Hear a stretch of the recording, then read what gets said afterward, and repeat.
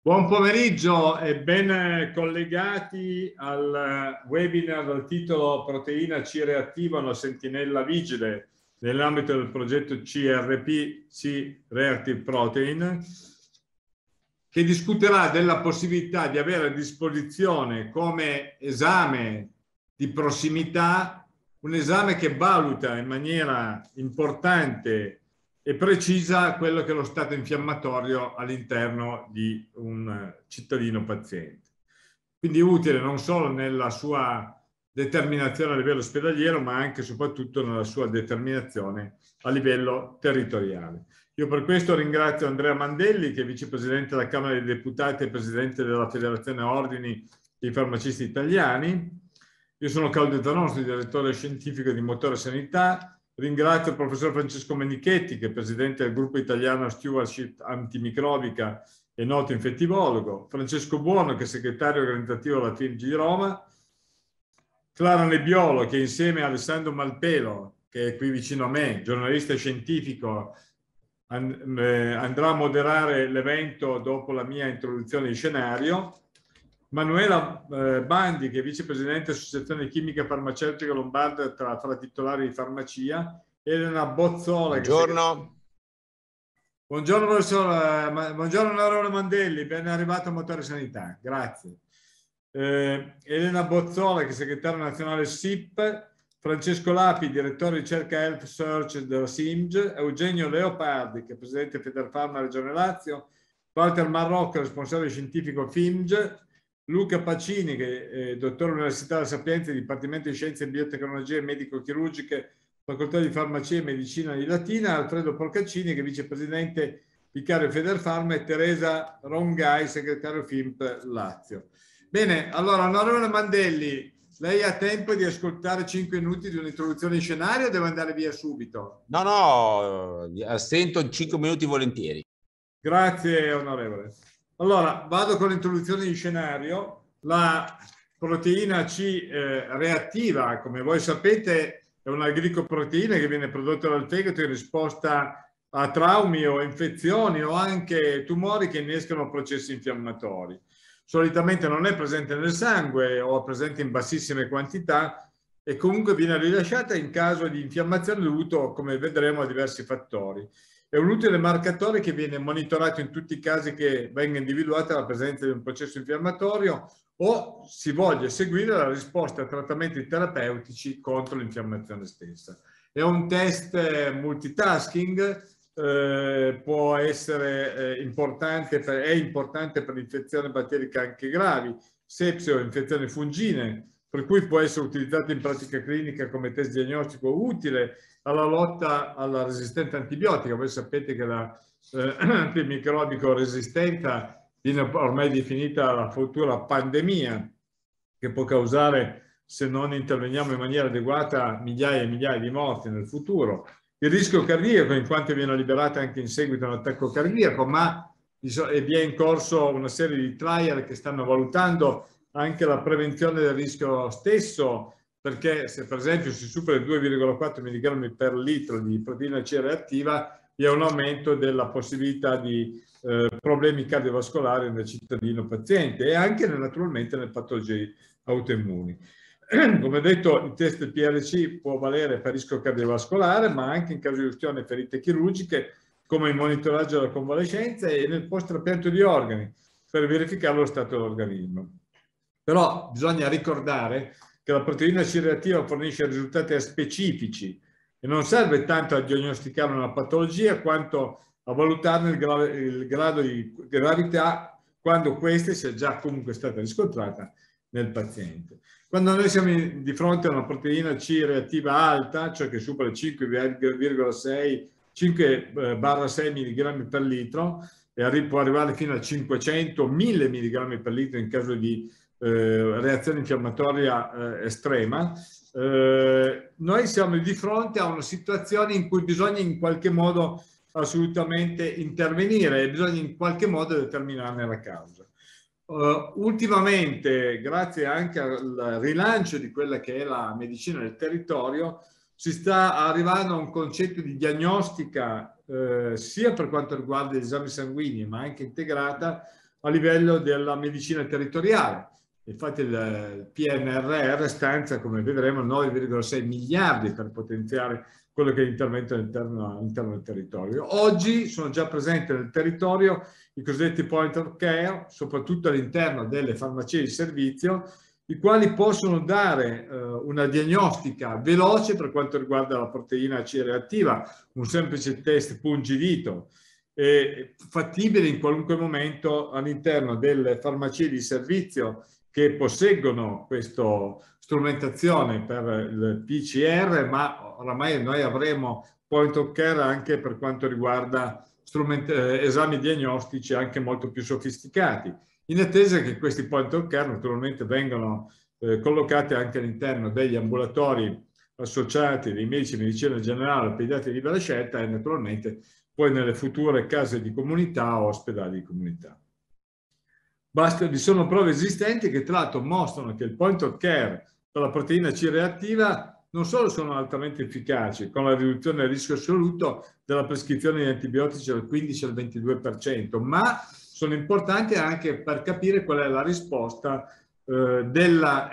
terapia antibiotica che noi facciamo. Pensiamo semplicemente all'importanza che ha avuto la proteina C reattiva anche nell'ultima pandemia da Covid-19, dove il suo test era uno dei test di valutazione per capirne anche come dire, la gravità e soprattutto anche in terapia intensiva per valutarne l'eventuale sovrainfezione di carattere batterico. Allora, quali sono gli obiettivi di oggi? È quello di formulare un documento di consenso nazionale che accolga le linee guida internazionali sull'impiego del eh, point of care eh, nel territorio come test diagnostico utile alla lotta alla resistenza antibiotica, soprattutto in vista dello stanziamento dei 9,6 miliardi del PNRR, ma già oggi con la, presenza, con la sua presenza all'interno delle farmacie di servizi che sono la prima sentinella all'interno del territorio. Diffondere la conoscenza presso tutti gli interlocutori di cure primarie, quindi dagli infermieri, medici di medicina generale, pediatri di libera scelta e così via, della possibilità di utilizzo e accesso rapido ai point care attraverso le farmacie territoriali, setting dove attualmente, come ho detto, maggiormente presenta lo strumento per effettuare questo test eh, e soprattutto perché, come ho detto, la, è uno strumento che è vicino al cittadino, è uno strumento che è accessibile in maniera veloce al cittadino stesso. In ottica di continuità delle cure, qualora il paziente però dovesse richiedere ulteriori indagini approfondite, deve comunque subentrare la diagnostica specializzata di laboratorio. Tra l'altro è in corso una proposta da parte del SIBIOC, Sistema Italiana per quanto riguarda la medicina di laboratorio, per la diffusione, una proposta di legge per la diffusione massima di questi point of care, eh, garantendo naturalmente la qualità del servizio offerto, quindi un controllo sui test di qualità che sono fondamentali. I punti di discussione che quindi che mi permetto di porre al, ai panel, ai relatori, è qual è il ruolo della farmacia di servizio del farmacista nell'interfaccia con i clinici del territorio, esempio appunto quindi la proteina C reattiva di cui stiamo parlando oggi, quale esperienza di utilizzo del test del point of care in farmacia e quale utilità pratica riscontrata, per ciò che riguarda i medici di medicina generale, proposte di casistica che potrebbero richiedere la semplificazione del percorso diagnostico attraverso la rivelazione rapida di flogosi con il point of care, per esempio malattie aromatiche, autoimmuni e naturalmente, come detto prima, la potenziale infezione batterica da distinguere di un'infezione virale, quindi se dare o non dare l'antibiotico. Infine per i pediatri di libera scelta, utilità del monitoraggio stretto attraverso il porto del paziente pediatrico con infezione batterica per l'appropriatezza prescrittiva antibiotica e per l'efficacia naturalmente dell'azione eh, degli antibiotici che sono stati prescritti. Io qui mi taccio e adesso subentreranno per quanto riguarda la moderazione il dottor Alessandro Malpelo che è qui e la dottoressa Cara Nebbiolo. Intanto chiedo eh, all'onorevole eh, ehm, eh, Bandelli di fare il suo intervento, io vi seguirò naturalmente nel corso di questo evento importante, è uno dei primi eventi in cui parliamo praticamente in maniera chiara di quella che è diagnostica di prossimità in vista di quello che è il rilancio della medicina territoriale. Vi ringrazio, a lei onorevole Mandelli. Bene, buon pomeriggio a tutti, grazie dell'invito. Eh, mi tratterrò qualche minuto, ma purtroppo eh, il ritmo dei lavori di oggi non mi consentirà di seguirvi fino alla fine, mi dispiace di questo, ma eh, non ho alternative. Ehm, grazie quindi dell'invito eh, per questa riflessione che eh, credo sia molto importante. Vorrei eh, fare con voi un piccolo passo indietro, non per perdere tempo, ma per contestualizzare la situazione. Era eh, la fine del 2020 e stavamo ragionando eh, della legge di bilancio del, per, il mille, eh, per, il 2021, eh, una legge di bilancio complessa, eravamo in piena pandemia e eh, avevamo una situazione davanti a noi molto complicata, non c'erano i vaccini ancora, si diceva che sarebbero arrivati per eh, il famoso V-Day il 27 dicembre, ma eh, fisicamente non avevamo ancora idea di quello che eh, poteva e, do e, e, doveva essere e poi quello che in realtà è stato. Ecco, in quella legge di bilancio, in un momento difficile del paese, drammatico per il paese, io metto a punto tre emendamenti che trovano l'accoglimento del governo. Il primo emendamento è quello che ritenevo fondamentale proprio per affrontare in maniera precisa la pandemia, la sfida che ci stava lanciando e la necessità di fondo di tracciare al massimo i cittadini italiani, fosse necessario che le farmacie si mettessero in prima linea per fare i tamponi e, ed è stato il primo emendamento che eh, il governo eh, ha accolto. Il secondo emendamento, secondo linea di sviluppo che pensavo in quel fine eh, 20 eh, fosse necessario per affrontare la pandemia, era quella che nel momento in cui i vaccini sarebbero stati disponibili, io sapevo con i numeri della pianificazione che sarebbero stati disponibili, eh, sarebbe stato necessario una capacità di un coinvolgimento delle farmacie nella campagna vaccinale eh, per una serie di ragioni che intuivo e che poi si sono dimostrate vere, la prossimità, la paura di andare negli hub, anche la, il timore dei cittadini italiani in alcuni casi a sottoporsi alle vaccinazioni. Poi c'è una terza cosa che secondo me era necessaria per affrontare il futuro della professione a tutto favore dei cittadini, che era quella di sdoganare l'azione eh, del farmacista per quanto riguarda eh, l'uso del pungidito che, come sapete, prima del mio terzo emendamento di cui vi sto parlando, approvato in quella legge di bilancio, era vietato al farmacista eh, usare il pungidito per pungere il polpastrello del paziente che voleva sottoporsi a un test eh, in farmacia. Ecco, io ho pensato allora che proprio in virtù di quello che stava avvenendo, delle grandi possibilità che la tecnologia stava mettendo a disposizione dei farmacisti, fosse necessario far sì che il farmacista fosse attore di questa puntura e eh, fosse quindi in grado di eh, aprire una stagione nuova per la professione. Ecco, io credo che queste tre mie intuizioni sono state fondamentali per disegnare eh, la farmacia del futuro e per disegnare il ruolo del farmacista sul territorio un momento in cui tutti abbiamo capito che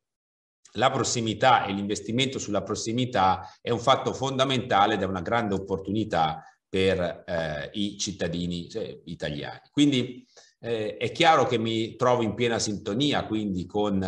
eh, questo progetto che dà corpo a una mia intuizione e dà una forma a quello che io intuivo e che invece ora diventa una possibilità reale di sviluppo di una prossimità diversa. Certo, eh, il tema che avete toccato voi è molto importante e, eh, ed è importante quindi generare un consenso proprio per avere una capacità trainante sui farmacisti che sono sempre un po' particolari nel loro approccio all'innovazione, non sono mai troppo contenti di buttarsi sulla strada nuova per poi invece essere travolti e trascinati con molto entusiasmo quando vedono il cambiamento che la loro attività propone e vedono sulla, sul sorriso delle persone che, con cui eh, hanno rapporti in farmacia la, la, la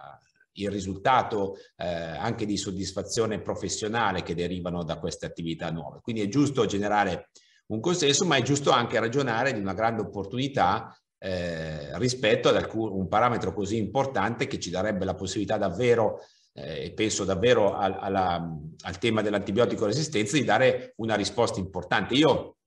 dal 2016 in Parlamento che eh, scrivo mozioni eh, anche approvate all'unanimità dalla, dalla, allora dal Senato e, e ora stiamo ragionando anche alla Camera eh, di una mozione che focalizzi le preoccupazioni che esprimo sulla antibiotico resistenza e le trasformi in un'azione reale eh, della nostra sanità e del nostro atteggiamento verso l'uso degli antibiotici. Quindi è evidente che eh, ancora una volta poter dare uno strumento per un farmacista protagonista a tutto vantaggio del cittadino nel combattere una cosa così drammatica che nel 2050, come qualcuno, come il moderatore, come il dottor Zanon diceva all'inizio, eh, sarà uno dei problemi più drammatici eh, della seconda metà di questo secolo, eh, sia un momento importantissimo e quindi è un effetto importantissimo di una introduzione di un servizio così importante. Eh, ma credo davvero che eh, in questo momento serva quindi avere una capacità di eh, coinvolgere il farmacista in questo cambiamento e di prenderlo per mano e portarlo in questo mondo nuovo, questo mondo nuovo che stiamo organizzando col DM71 che vede sicuramente eh, il farmacista italiano percepito non solo più, e questo è un concetto che io eh, facevo sempre un po' fatica prima a, a, a, spiegare, ma che invece adesso è molto più facile dopo la pandemia. Il farmacista ha sempre avuto un grande consenso da parte del cittadino, chi non lo riconosce. Eh, ognuno di noi dice, ah, i miei clienti mi, mi stimano, no? se, vado, eh, se, vado, per strada, faccio quattro passi nel mio quartiere, non c'è un, una persona che non, si, che non, mi saluti con, con, con afflato. Ecco, allora la percezione del farmacista da parte del cittadino non era la stessa percezione che il farmacista aveva da parte del decisore politico. Quello che è fortemente cambiato in questo anno è che a, a, a fronte al netto di una eh, consapevolezza del ruolo che il cittadino ha della nostra professione, che è stato amplificato con quello che abbiamo fatto in questo anno di straordinario, di pazzesco, i numeri sono davvero da far venire i brividi. Eh, milioni di, di tamponi, eh, 2 milioni e mezzo di vaccinazioni anti-Covid fatte in farmacia, 2 milioni e mezzo e non è ancora finita. Quindi sono numeri che fanno veramente girare la testa alla, politica che capisce il potenziale di questa categoria. Ecco, eh, la, quello che è cambiato è questo passaggio da una percezione del cittadino alla percezione della politica. Il farmacista può fare qualcosa di straordinario per la collettività e quindi e mi avvio a chiudere perché non voglio farvi un sermone, eh, questo cambiamento di eh, mentalità deve darci una mano a ridisegnare col DM71 anche come abbiamo fatto in queste giornate, interloquendo molto con la conferenza delle regioni, come ho fatto io,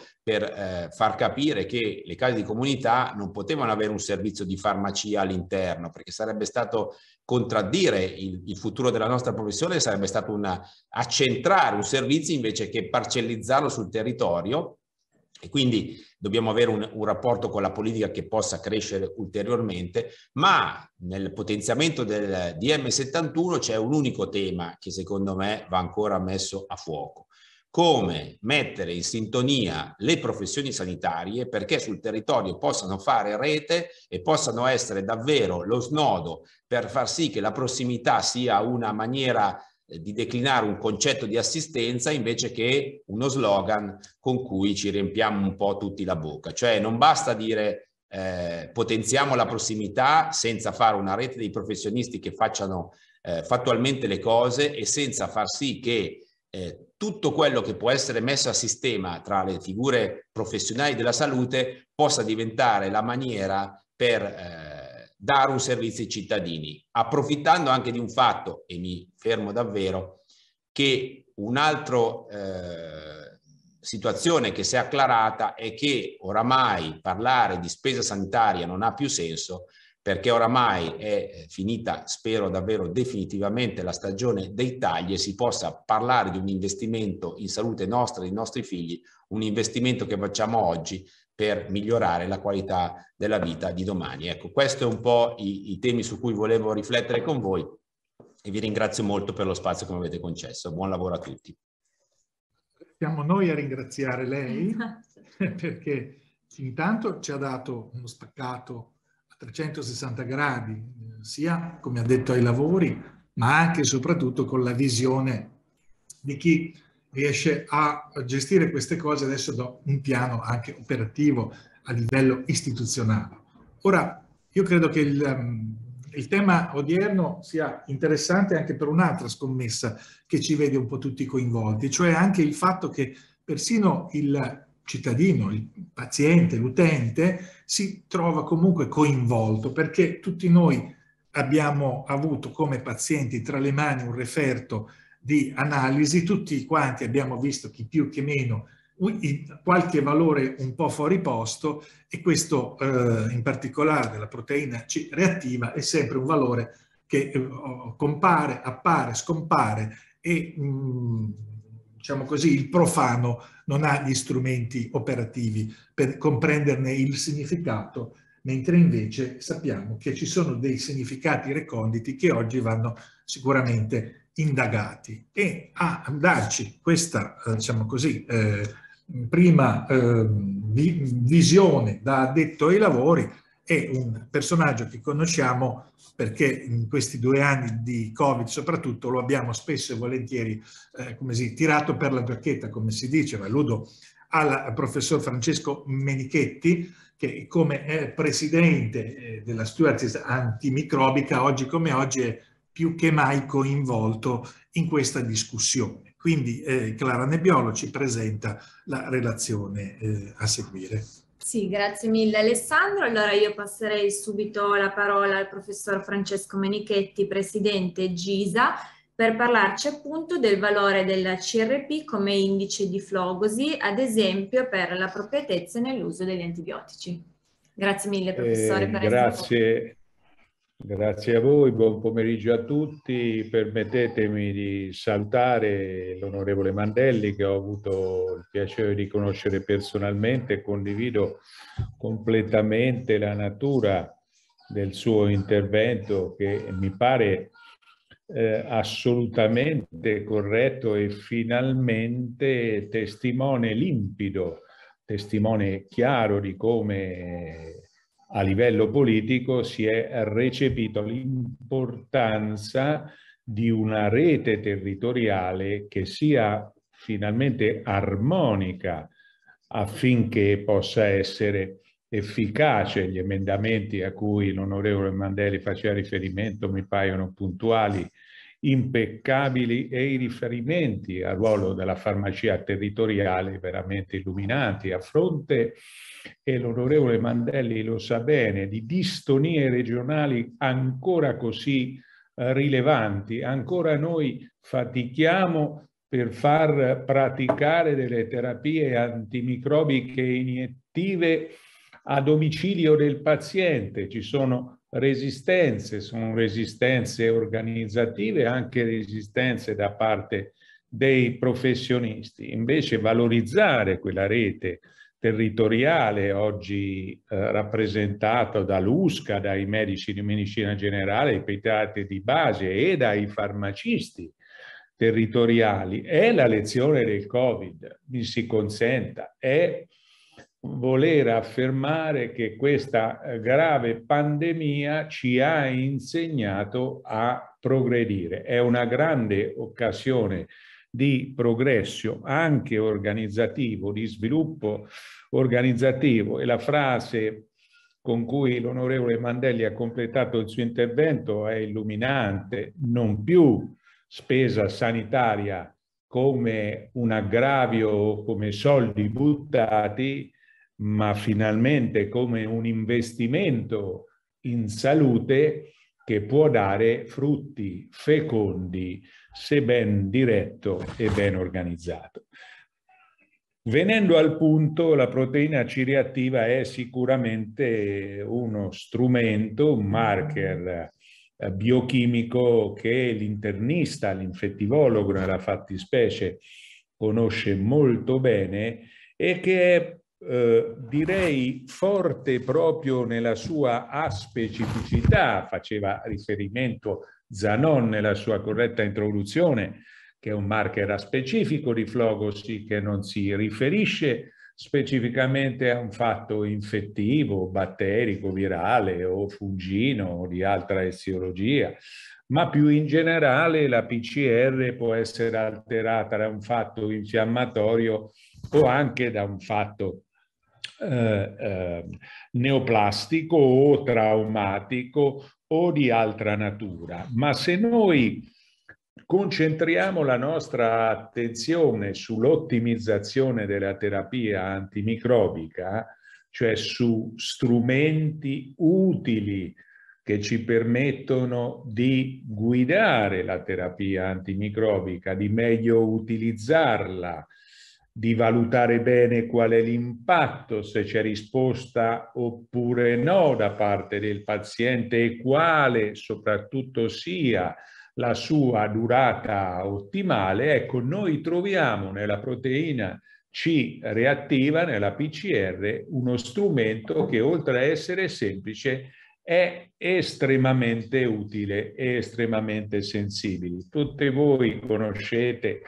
è inutile citarli, che i marker di flogosi come la velocità di eritossedimentazione, il fibrinogeno, l'alfa-2 eh, globuline, la ferritina, esistono tanti marker, più modernamente si conosce la procalcitonina, che è un marker molto sensibile, un marker infettivo molto sensibile e molto eh, utilizzato, ma è ovviamente nell'ambito e rimane nell'ambito ospedaliero, in ambito nosocomiale, avendo anche un costo piuttosto rilevante e richiedendo un monitoraggio sistematico, il valore puntiforme della procalcitonina non serve assolutamente a nulla, bisogna costruire delle curve, delle curve che se sono in decrescita ti possono dare informazioni utili. Ora,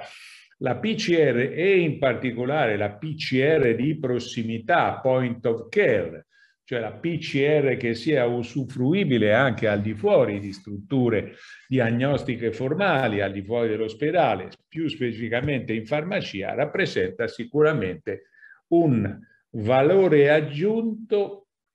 ai fini della guida della terapia antimicrobica che, viene, eh, che venga prescritta ai nostri pazienti. Purtroppo c'è da sottolineare come eh, sono proprio i medici, quindi io faccio un mea culpa, i primi a eh, ignorare o meglio a non valorizzare fino in fondo, a non apprezzare fino in fondo il valore della proteina C reattiva. Basta vedere spesso le prescrizioni che i colleghi fanno Forse abbiamo avuto un attimo di delay, un attimo di ritardo sulla, sul segnale di professor Menichetti. Mentre stiamo verificando se riusciamo a ristabilire l'audio, ne approfitto per dire che con noi eh, collegato c'è Francesco Buono, segretario organizzativo a Roma della FEMGE. Buonasera, buonasera a tutti che ci segue, che ci segue perché nella duplice veste di eh, relatore, ma anche, ma anche, di moderatore della tavola rotonda che fra poco andiamo, andiamo ad avviare. Ma se mi date qualche eh, minuto eh, in attesa di dare il via a, al prossimo collegamento e senza richiamare in ballo Andrea Mandelli che ha degli impegni oggettivi e quindi che lasciamo libero di seguire il suo iter istituzionale, però io proprio di Andrea Mandelli un ringraziamento come giornalista scientifico lo vorrei dare perché attraverso la Federazione degli Ordini dei Farmacisti italiani sono stati dati in questi, anche in queste ultime settimane eh, notevoli, diciamo così, spunti di riflessione. Ne, ne cito due. Il 10 marzo una presa di posizione in cui a caldo sui dati diffusi dall'AIFA sul eh, consumo degli antibiotici in Italia, che confermavano che siamo uno dei paesi che eh, ne impiega eh, le maggiori quantità, ecco che Andrea Mandelli ha um, dato una presa di posizione in cui eh, ha richiamato i, le motivazioni e gli indirizzi per un impiego razionale di questi eh, farmaci e ha coinvolto il mondo dei media in questa comunicazione. E sempre nell'ambito eh, delle attività del, eh, di Andrea Mandelli, devo citare anche un percorso condiviso tra farmacisti e infermieri per, la, eh, per realizzare l'assistenza di prossimità e questa è un'altra presa di posizione eh, ancora più recente, del 18, del 18 marzo. Allora, a questo punto Francesco Menichetti ha ripristinato sì. il collegamento, quindi noi gli chiediamo di accendere il microfono e chiedo di scusa, riprendere dal punto scusa. dove ci eravamo lasciati. Prego, professor. Chiedo scusa, c'è stata una defiance del, eh, in attesa del, eh, del wifi. Stavo dicendo la PCR ci guida, ci guida nella terapia antimicrobica perché laddove ci sia un calo della PCR che noi troviamo elevata in un fatto infettivo che sia documentato microbiologicamente o anche non documentato microbiologicamente ma accertato comunque clinicamente, ecco se la PCR declina dopo l'adozione di una terapia antibiotica, che può essere quindi mirata ma può essere anche empirica,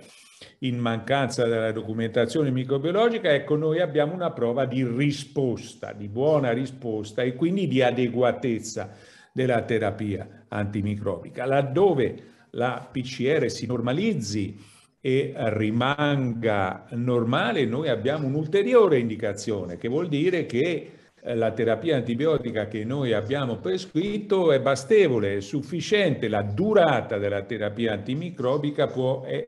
quindi essere contenuta, non più quei cicli eh, interminabili eh, di antibiotici, ma invece cicli limitati nel tempo di documentata efficacia che impattano meno sulla flora microbica intestinale e quindi favoriscono meno l'emergenza della resistenza antimicrobica. Laddove invece la PCR non cali, e allora quello è un segno eh, che può significare da una parte un'errata diagnosi, quindi abbiamo pensato che fosse un fatto infettivo, abbiamo dato una terapia antibiotica, l'antibiotico non risponde, ma perché non va bene l'antibiotico? Perché magari quell'incremento della PCR, soprattutto se l'antibiotico è empirico, significa che il malato ha un'altra cosa, quindi è un segnale d'allarme importante in senso diagnostico differenziale oppure può suggerire che la scelta dell'antimicrobico sia stata inadeguata. Infine la PCR che era normalizzata può di nuovo risalire. Questo capita spesso quando abbiamo a che fare con infezioni subacute o croniche associate ad esempio ai dispositivi protesici tutti voi che mi ascoltate sapete bene come le infezioni associate a protesi, soprattutto faccio l'esempio delle protesi ortopediche, che è quello più noto, siano difficilmente emendabili con la sola terapia antimicrobica e richiedono la bonifica del focolaio che è eh, chirurgica. Ecco, quindi eh, come la proteina C reattiva in buona sostanza rappresenta già oggi uno strumento che io direi di estrema utilità se è eh, gestito correttamente dal clinico e avere a disposizione una PCR di prossimità, così come è stata definita coinvolge altre figure al di là di quelle specialistiche e, se mi permettete, mette nelle condizioni anche i colleghi eh, che operano sul territorio a gestire in modo più sicuro e più fiducioso la terapia antimicrobica. Ecco, questo, sempre scusandomi dell'interruzione, è il mio contributo che spero possa essere utile per il dibattito che poi eh, seguirà. Grazie, grazie intanto al professor Menichetti, se non ci lascia, se rimane con noi lo ringraziamo. Prima di darti la parola volevo dare due informazioni tecniche, una per quanto riguarda la sequenza della eh, nostra discussione. Abbiamo un panel di eh, partecipanti a questo eh, a tavolo di discussione sono tutti presenti e collegati. Seguiremo eh,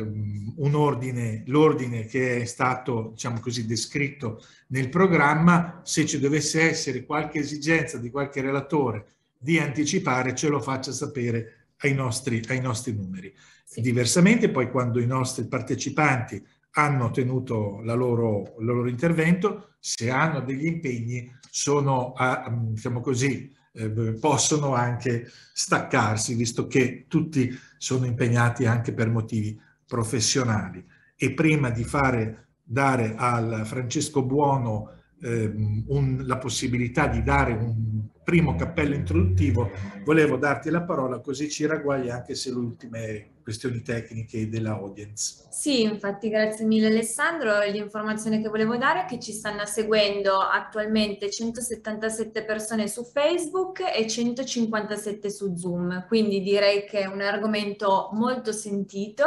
e quindi direi di passare subito la parola al dottor Buono ehm, segretario organizzativo FIMG Roma, per dare inizio alla tavola rotonda dal titolo Innovazione nella diagnostica di primo livello e CRP.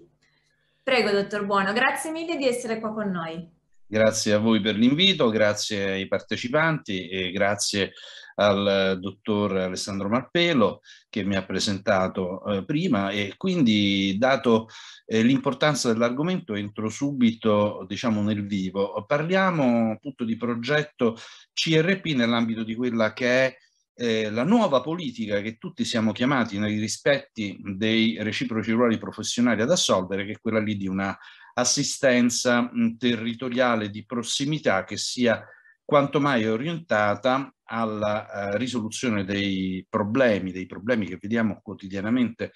nell'utenza che a noi si rivolge, nel favorire l'appropriatezza prescrittiva di cui da tanti anni stiamo parlando, ma che può avvalersi grazie ai progressi, uno dei quali appunto è oggetto del nostro incontro, che eh, nel corso del tempo vanno ponendosi a nostra disposizione, io direi anche di aggiungere il eh, valore aggiunto dell'aderenza, perché è normale che eh, quanto più si concentra nell'unità di tempo, quello che può essere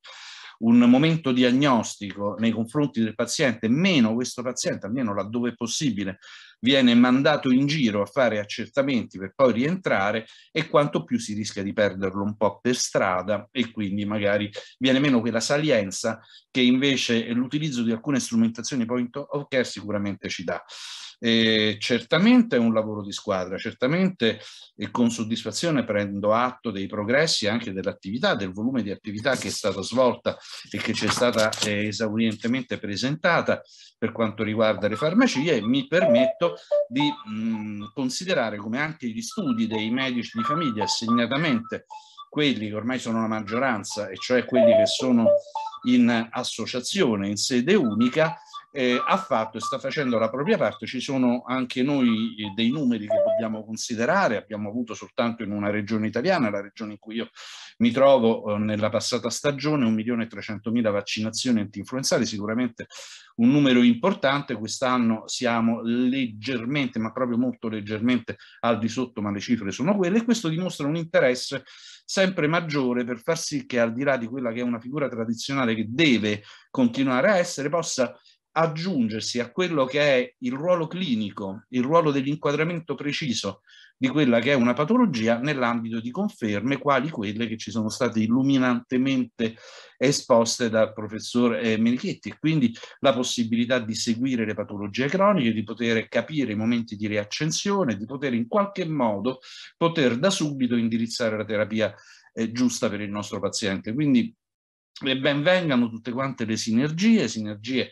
che eh, fanno sì che l'offerta possa essere adeguatamente fornita sul territorio. Siamo in un momento di trasformazione, ricordiamoci che nei momenti di trasformazione una rete è presente ed efficace, qual è quella degli studi capillari dei medici di famiglia, similmente a quello che è la rete delle stazioni dei carabinieri, per parlare di di altro ambiente, per parlare quindi in questo caso di ordine pubblico, possono essere eh, nello stesso tempo eh, strutture e figure tradizionali disseminate sul territorio e capillari e nello stesso tempo presentare quella modernizzazione che fa sì che eh, l'ingresso di queste nuove tecnologie possa cadere in un contesto clinico appropriato, possa soprattutto venire incontro a quelli che sono i reali attori della vicenda sanità che poi sono i cittadini pazienti. Grazie per avermi concesso questo tempo. Grazie mille a lei. Allora Alessandro, se sei d'accordo, io inizierei appunto a dare la parola a Emanuela Bandi, vicepresidente Associazione Chimica Farmaceutica Lombarda, fra titolari di eh, farmacia. Va bene, e dopo, e dopo Manuela Bandi vedo in programma Elena Ozzola, segretaria nazionale della Società Italiana di Pediatria. Bene, allora Manuela, lei... Eccoci qua. Eccoci qua. Buongiorno a tutti e benvenuti. Eh, abbiamo, abbiamo, ampiamente parlato in, queste, in questi interventi eh, dell'importanza di lavorare in sinergia. Credo che questo sia il vero insegnamento che ci arriva dal Covid. Eh, per dirla proprio tutta, in questa situazione eh, io credo sia apparso abbastanza evidente come eh, il meglio delle forze di ognuno di noi eh, da solo non sia stato sufficiente. Ha funzionato il sistema dove si è riuscito a lavorare in, eh, in cooperazione, dove si è riuscito a parlare un unico linguaggio e a scambiarsi e eh, a toglierci reciprocamente quei pezzettini di lavoro che facessero sì che eh, il cittadino, che il paziente, eh, che alla fine la persona avesse una risposta. Io credo che in questo la farmacia sia stata eh, molto attiva e eh, credo che lo fosse prima dell'emergenza pandemica e credo che eh, all'interno dell'emergenza, come, come, ha detto l'onorevole Mandelli, sia emerso eh, il meglio che si poteva dare, sia emerso in maniera molto evidente, si è emerso a tutti i livelli. Il cittadino ha sempre trovato nella farmacia la famosa porta aperta eh, per la prima risposta, per il primo quesito, anche per indirizzare ai livelli decisamente superiori di sanità. Ecco, mh, la farmacia e la farmacia dei servizi sta esattamente eh, potenziando questo, questo, aspetto, sta cercando di dare le migliori risposte possibili. Eh, io credo che la farmacia si stia dotando e sia già in gran parte dotata eh, di strumenti veramente efficaci per poter eh, dare queste risposte, per poter collaborare. Non posso nascondere che in passato le risposte che arrivavano dalla farmacia non sono sempre state apprezzate dai medici, eh, cosa che non è successa negli ultimi, negli ultimi, due anni evidentemente. Ecco, a me piacerebbe che l'insegnamento di questo periodo così complicato fosse proprio questo. Possiamo parlare la stessa lingua, possiamo muoverci eh, in un ambito che vada esattamente eh, nell'ottica di essere il più efficace possibile, ovviamente nel rispetto delle, eh, delle reciproche professionalità, eh, ma sempre tenendo presente il cittadino alla fine. Eh, in Regione Lombardia, dove io opero, le attività che sono eh, gestite dalle singole farmacie sono anche molto facilmente riconoscibili perché eh, tramite una banalissima app è possibile in ogni momento sapere quale farmacia è disponibile, quale servizio è presente all'interno delle singole farmacie in molti di noi è possibile anche direttamente prenotare tramite questi sistemi, quindi eh, dove serve un'analisi di prima istanza, dove serve una risposta anche molto rapida, eh, le farmacie ci sono. Ci sono per poter eh, dare il massimo del loro contributo, ci sono per poter eh, essere accanto da una parte al cittadino e dall'altra al medico che potrebbe eh, trovare sicuramente una serie di risposte rapide per rendere il proprio lavoro ancora più efficace. Quello che può essere per la farmacia, io sono sicura che la farmacia riuscirà a rispondere al meglio. Grazie. Grazie davvero per aver sentito il suo parere. Vedo che ha la eh, videocamera accesa e collegata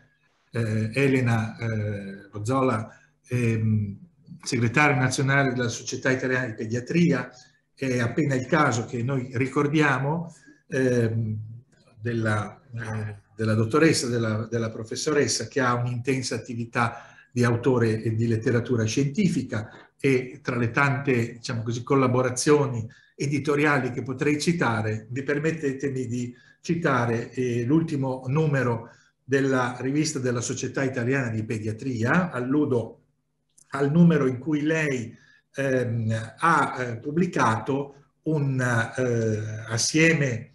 a, con un articolo assieme a Luisa Galli eh, un interessante, un interessante eh, review scientifica eh, proprio sulla antimicrobico resistenza e direi che eh, siamo proprio diciamo così, siamo sul tema, siamo sul tema perché ci siamo, ci siamo, mm, qua, proprio, siamo qui proprio per discutere di questi aspetti. Prego, Clara. Prego alla dottoressa Elena Bozzola la parola della sua esperienza. Sì, grazie a tutti. Scusatemi, avevo un problema con la telecamera poco fa. Eh,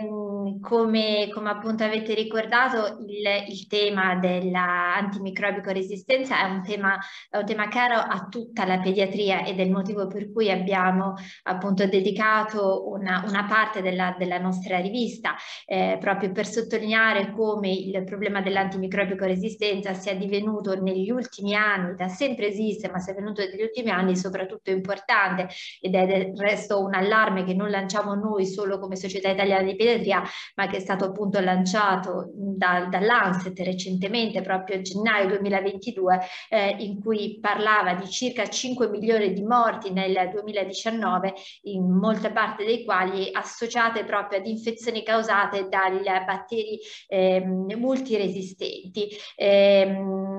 per cui il rischio addirittura che eh, si, eh, si mh, poneva era quello di arrivare fino a 10 milioni di morti entro il 2050. Sono delle cifre certo che sono molto importanti, che non dobbiamo consegnare ai nostri figli ai nostri nipoti un, un mondo così, un mondo in cui il rischio di morire a causa delle infezioni nonostante gli avanzamenti nella terapia antibiotica sia un rischio reale ed un rischio sempre più importante. Ed un ruolo eh, importante lo svolge il pediatra, vi direte perché nella maggior parte delle infezioni importanti si, pa si parla soprattutto di adulti, di anziani, però anche nel mondo pediatrico il rischio è quello di contribuire all'antimicrobico resistenza eh, come eh, già accennato tantissimi anni fa, si parla più di, di 20 anni fa, da un articolo molto famoso di Pediatrics di un gruppo di eh, studiosi inglesi che ha evidenziato come eh, dagli ambulatori delle, dei, dei, pediatri di famiglia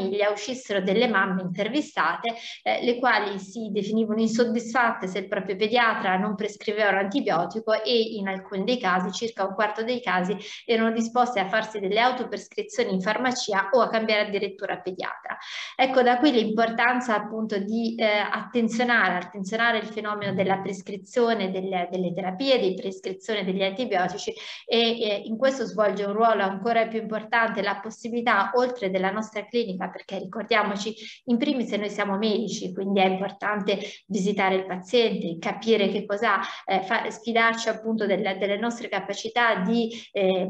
di, di, visitarlo, di ascoltare il torace, il torace, di sentire la pancia, di guardare le orecchie, di vedere la gola, ma a volte ci può essere proprio un ausilio importante che è quello della diagnostica, eh, diagnostica non solo strumentale ma anche di laboratorio, per cui la possibilità di ricorrere a degli esami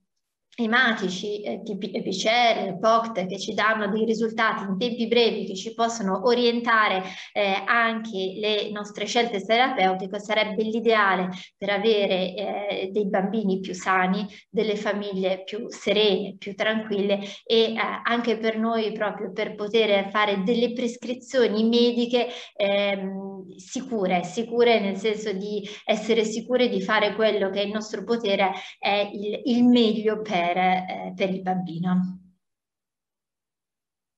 Eh, direi che è chiaro come inquadramento e sicuramente l'attenzione eh, nel mondo della pediatria è, è, è rilevante. E, mh, mm, cos'altro dire? Io andrei avanti nella nostra carrellata perché secondo me riusciamo a fare... Se permetto un attimo solo. Prego, infatti diamo, diamo, a Francesco Buona la possibilità ogni tanto di intervallare con dei commenti o delle chiose. Al, Francesco, mm, prego. Molto apprezzato la relazione della dottoressa Bozzolo perché mi ha fatto immediatamente ricordare un'immagine dei primi anni dei miei studi di medicina, una scritta che compare all'Università degli Studi di Roma dove mi sono laureato e che è Impuero Homo. E quindi quando sento parlare di eh, questa appropriatezza, di questa attenzione fin dall'età più tenera a quelli che poi potrebbero diventare i problemi dell'adulto, che poi in genere si parla di antibiotico resistenza soprattutto nell'adulto, ma il percorso può iniziare molto da prima e quindi l'importanza del ruolo dei eh, pediatri in questo, del passaggio di consegne, che anche questa è una cosa che a livello territoriale dovremo in qualche modo implementare eh, nel futuro, è senz'altro fondamentale. Un accenno anche alla eh, relazione della dottoressa Bandi ha accennato a un certo punto al fatto che nel passato è capitato qualche volta che alcuni servizi della farmacia potessero non essere eh, considerati. Questo è avvenuto e avviene sempre quando si introducono delle novità. Posso dire che eh, fa un po' pandan anche con allora, alcune eh, mancate conoscenze che ci ci sono in eh, molte eh, realtà locali di quelli che sono anche dei servizi che la medicina generale ultimamente ha offerto. Nella mia regione, per esempio, non tutti sanno che ci sono ambulatori delle cure primarie che lavorano nei giorni festivi e prefestivi dalle 10 alle 19 e dove parimenti si può parlare di rete integrata. Quindi delle volte queste cose possono accadere perché eh, magari vengono costruite, vengono poste in essere con il sacrificio di molti, magari non vengono adeguatamente pubblicizzate e quindi alla fine non sono quel patrimonio di tutti, che è uno dei target del lavoro che stiamo portando avanti. Grazie. Grazie mille, dottor Buono. Allora io passerei per esigenze di tempo la parola al dottor Procaccini, vicepresidente vicario di Federfarma, che ringrazio di essere qua con noi, nel mentre stanno crescendo notevolmente gli ascolti su Zoom e Facebook, quindi dopo eh, l'intervento del dottor Procaccini eh, vi diciamo ragguaglieremo anche su questo. Prego. Buongiorno a tutti, grazie di avermi invitato a questa importante sessione di lavoro. Diciamo che eh, sì, stiamo un po' anche analizzando non solo la proteina C reattiva, ma un po' quello che è accaduto in questi due anni, eh, cercando di capire, ma ne parliamo già tante volte, ma insomma una volta in più non fa male, eh, cosa è accaduto? È accaduto che sicuramente i servizi di capillarità, eh, mi sentite? Sì. I, servizi di capillarità, intesi come appunto gli studi di medicina, generale, i pediatri di libera scelta eh, e le farmacie hanno saputo eh, darsi un'importanza particolare in, questo, in, questi tragici due anni, no? Eh, sviluppando poi anche attività che precedentemente erano sicuramente eh, caratteristiche del, delle grandi strutture ospedaliere proprio per cercare di venire incontro ai cittadini sul territorio il più possibile vicino a casa. Eh, sicuramente lo spartiacque, come ha detto il dottor Mandelli eh, nel, nel, nel, suo prologo, è, è, stato la legge di bilancio 2021 per quanto riguarda le farmacie, ovviamente, perché quella un po' ipocrisia, se vogliamo dire, del, dell'autoanalisi è stata sdoganata definitivamente con una eh, effettiva poi azione da parte del farmacista per il prelievo del sangue capillare, che ha aperto le strade a tutta una serie di diagnostiche eh, importanti che prima eh, non, non, si facevano, ma che ora trovano appunto riscontro all'interno delle farmacie. Quindi ehm, anche un, un, cittadino anche curioso magari no? va in farmacia e chiede che cosa si fa, in questo momento sicuramente trova in questa farmacia così cambiata, così evoluta, che è rimasta al tempo stesso la farmacia di prima, ma nel contempo è diventata una farmacia di servizi eh, sempre più vicino al, al, cittadino, trova quindi che può farsi tranquillamente un PSA piuttosto che eh, l'analisi della vitamina D eh, e quindi anche con la strumentistica adatta, chiaramente eh, valutare la proteina C reattiva che abbiamo capito dal punto di vista scientifico che importanza possa avere. Quindi una farmacia, ripeto, diversa ma uguale a se stessa. Il cittadino, devo dire, sta diventando, diciamo dal 2001 purtroppo siamo passati ad essere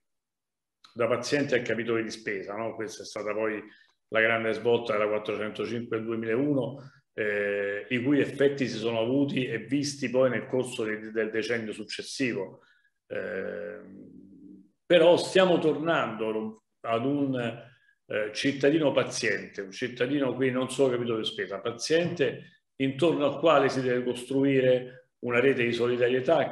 ma anche capillare vicino al cittadino stesso.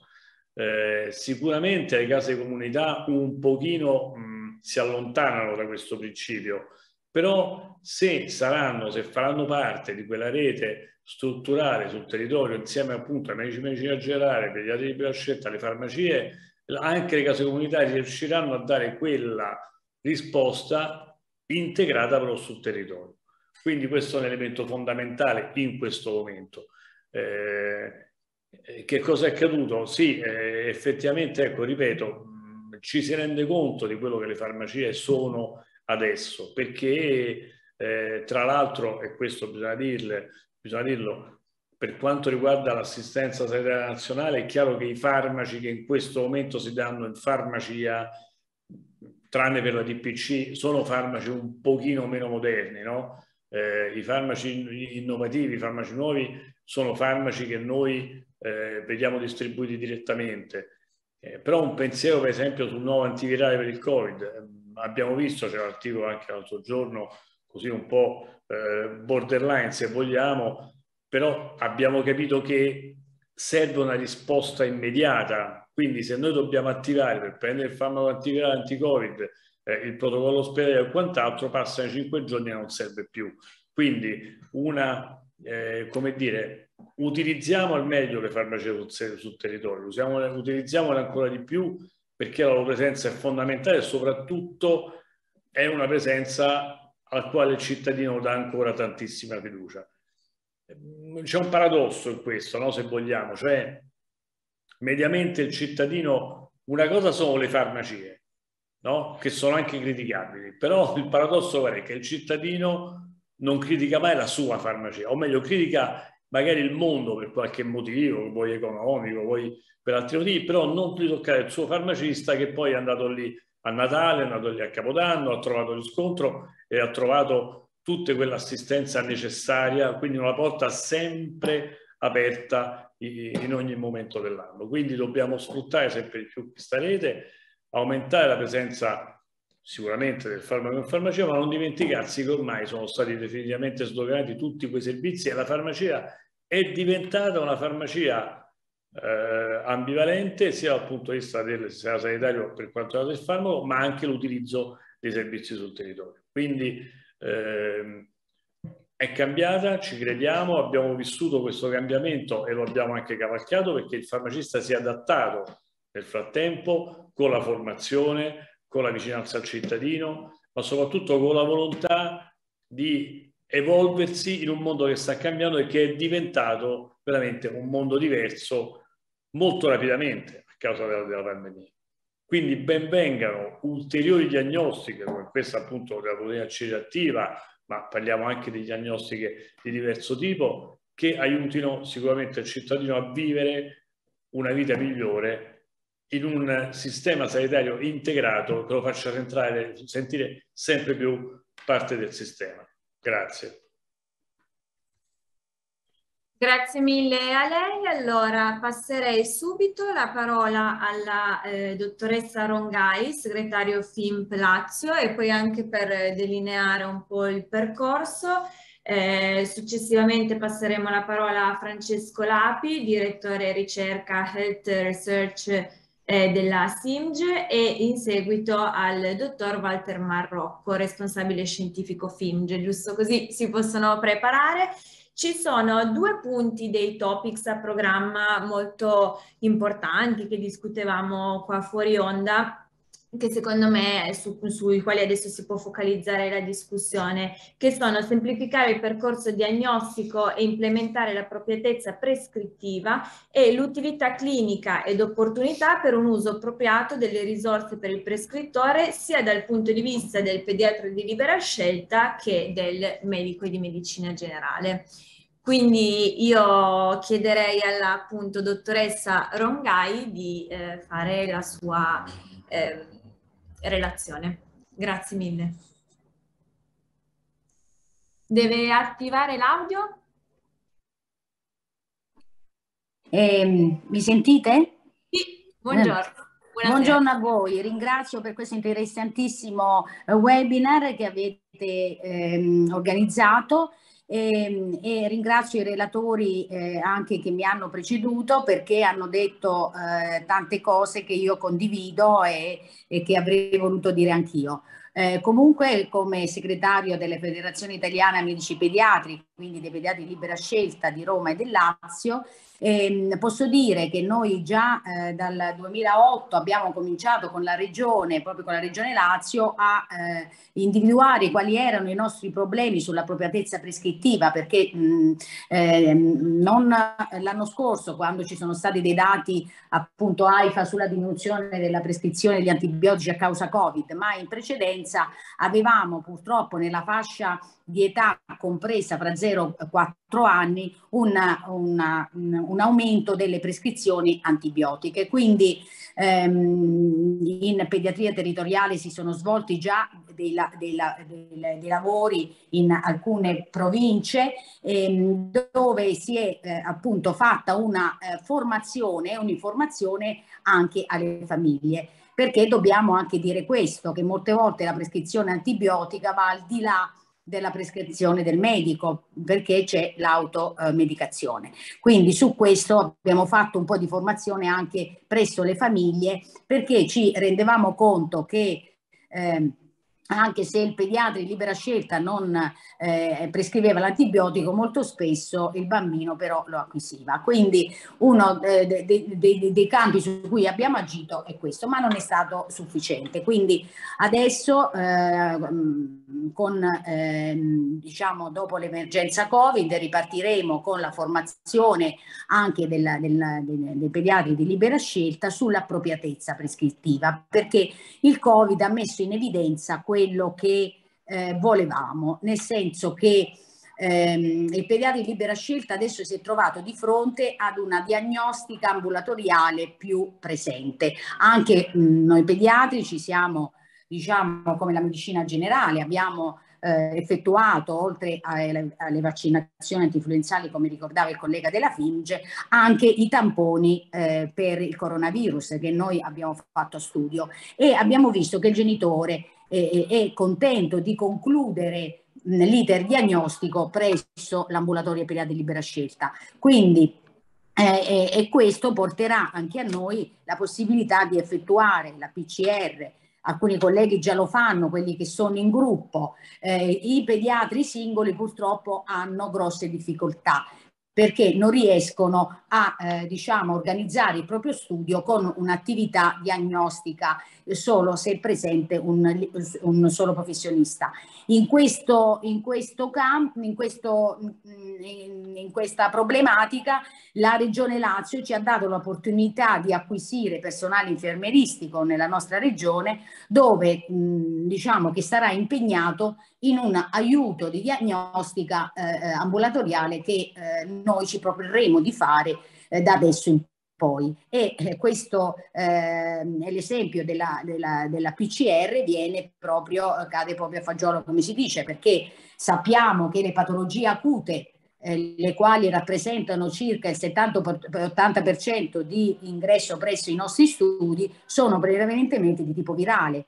e quindi più delle volte abbiamo la necessità di individuare se la patologia è batterica o virale e per evitare appunto un, eh, una prescrizione non adeguata. Eh, su questo eh, la ehm, l'indagine sul PCR appunto eh, ci porta a un uso ragionato della prescrizione degli antibiotici perché nel bambino la prima cosa è non nuocere, quindi non evitare di dare antibiotici se non ce n'è bisogno. Quindi su questo noi abbiamo già eh, diciamo tutte le eh, intenzioni per poter fare questo, ci sta aiutando anche la Regione Lazio dandoci appunto la possibilità di poterlo fare. Come diceva il collega della medicina generale, ehm, che noi, anche noi pediatri svolgiamo il sabato e la domenica eh, come la medicina generale, la continuità del nostro ambulatorio presso eh, le, le, case della salute e questo ci apre anche la strada per poter fare una diagnostica di primo livello anche presso questi centri. Quindi benvenga tutto questo, siamo disponibili a tutto, speriamo, anche se pochi, perché noi pediatri purtroppo siamo stiamo subendo una brusca diminuzione sul territorio perché ci sono molti colleghi che vanno in pensione, pochi pediatri che stanno, ci stanno sostituendo, però diciamo cerchiamo di adesso di fare un lavoro di equip, di associazione, di gruppo affinché ci sia questa eh, diciamo, mh, possibilità di diagnostica per migliorare la, eh, la cura e l'assistenza nel bambino. Grazie a tutti. Grazie. Sempre in tema di pediatria, prima di proseguire in questa nostra carrellata, mi sembrerebbe opportuno allora citare per esperienza personale di vita vissuta in redazione, quindi come giornalista, di citare anche Susanna Esposito, che tutti voi conoscete, professore eh. ordinario di pediatria e anche presidente eh, del sodalizio scientifico che eh, proprio nel campo delle malattie infettive è particolarmente versato. Bene, proprio, proprio un ricordo personale è di prima del Covid, una conferenza stampa che è stata fatta proprio sulla lotta all'abuso di antibiotici, il nuovo test diagnostico per distinguere le infezioni batteriche da quelle virali. Ma mi sembra che il punto sul quale giriamo, attorno al quale giriamo, è un po' quello, come ha detto bene eh, poco, eh, prima Francesco Buono, è proprio la conoscenza dell'opportunità ecco, di, mh, che, che, troviamo in farmacia. E questo potrebbe essere un fattore, fare leva anche nel, diciamo così, nel, nell'immaginario del medico nel poter cogliere questa eh, opportuni, come opportunità, non come dovere, e quindi di utilizzare degli strumenti di appropriatezza clinica, se ho ben compreso quello che Francesco Buono voleva, voleva dire prima. Prego. Sì, sì, effettivamente la conoscenza reciproca di tutto quello che eh, questo team di professionisti che si occupa di salute eh, può dare è senz'altro opera molto molto importante. Io ricordo, eh,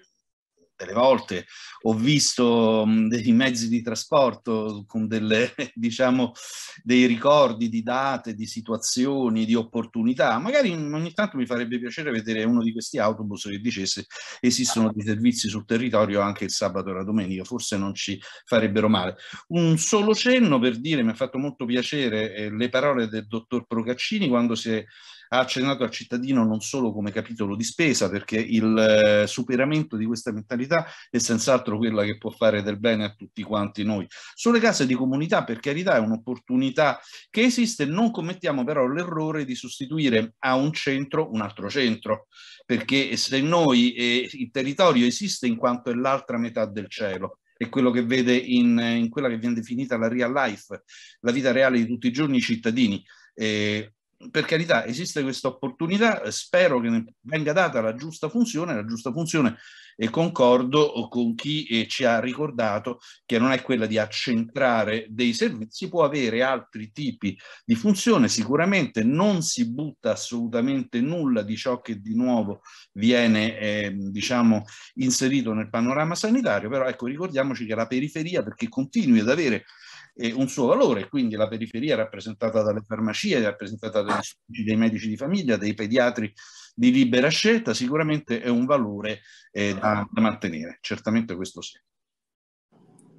Grazie mille, dottor Buono. Allora, come preannunciato, passerei la parola Francesco, al dottor Francesco Lapi, direttore ricerca Health eh, Search della Synergy. Sì, salve, eh, buonasera a tutti. Dunque, eh, innanzitutto grazie per l'invito. Allora, io, eh, il mio contributo si basa essenzialmente su quella che è l'esperienza che il nostro centro di ricerca ha fatto e sta facendo proprio sulla CRP, perché eh, viene vissuto chiaramente come un elemento carente nell'atteggiamento prescrittivo che può guidare alla corretta prescrizione di antibiotici da parte del medico di medicina generale e eh, carente però perché certamente c'è un elemento ancora culturale che deve essere colmato, eh? nonostante ovviamente questo tipo di valutazione eh, strumentale sia nota, ma non è ancora sufficientemente nota. E eh, tuttavia però c'è anche un elemento pragmatico, perché, e, e questo si ricollega a quello che hanno detto prima gli altri colleghi, nel senso che il medico di famiglia ha una eterogeneità di azione, e questo io lo dico vedendo i dati che noi con il nostro database nazionale analizziamo eh, frequentissimamente per tutta una serie di progetti, inclusi quelli che adesso si stanno occupando di CRP e di prescrizione antibiotica, e su cui poi dopo vorrei fare un esempio proprio per essere più chiaro, e mh, quella che è la continuità con l'attività della farmacia del territorio perché la, eh, l'ambulatorio di medicina generale vive un'estrema eterogeneità. C'è il medico che lavora, eh, il dottor Bono lo sa meglio di me, eh, il medico che lavora ovviamente senza una medicina di gruppo, eh, il medico che lavora con una medicina di gruppo e quindi con la presenza di un infermiere e di altri colleghi, nei quali un esame di prossimità chiaramente è molto più applicabile, molto più utilizzabile rispetto al medico che lavorando in solitaria, passatemi il termine che è un po' eh, forte ma è molto chiarificatore, ha molta più difficoltà anche dividendosi in diversi ambulatori anche a utilizzare una diagnostica POC disponibile ecco, nel, nel, proprio, nel proprio ambulatorio,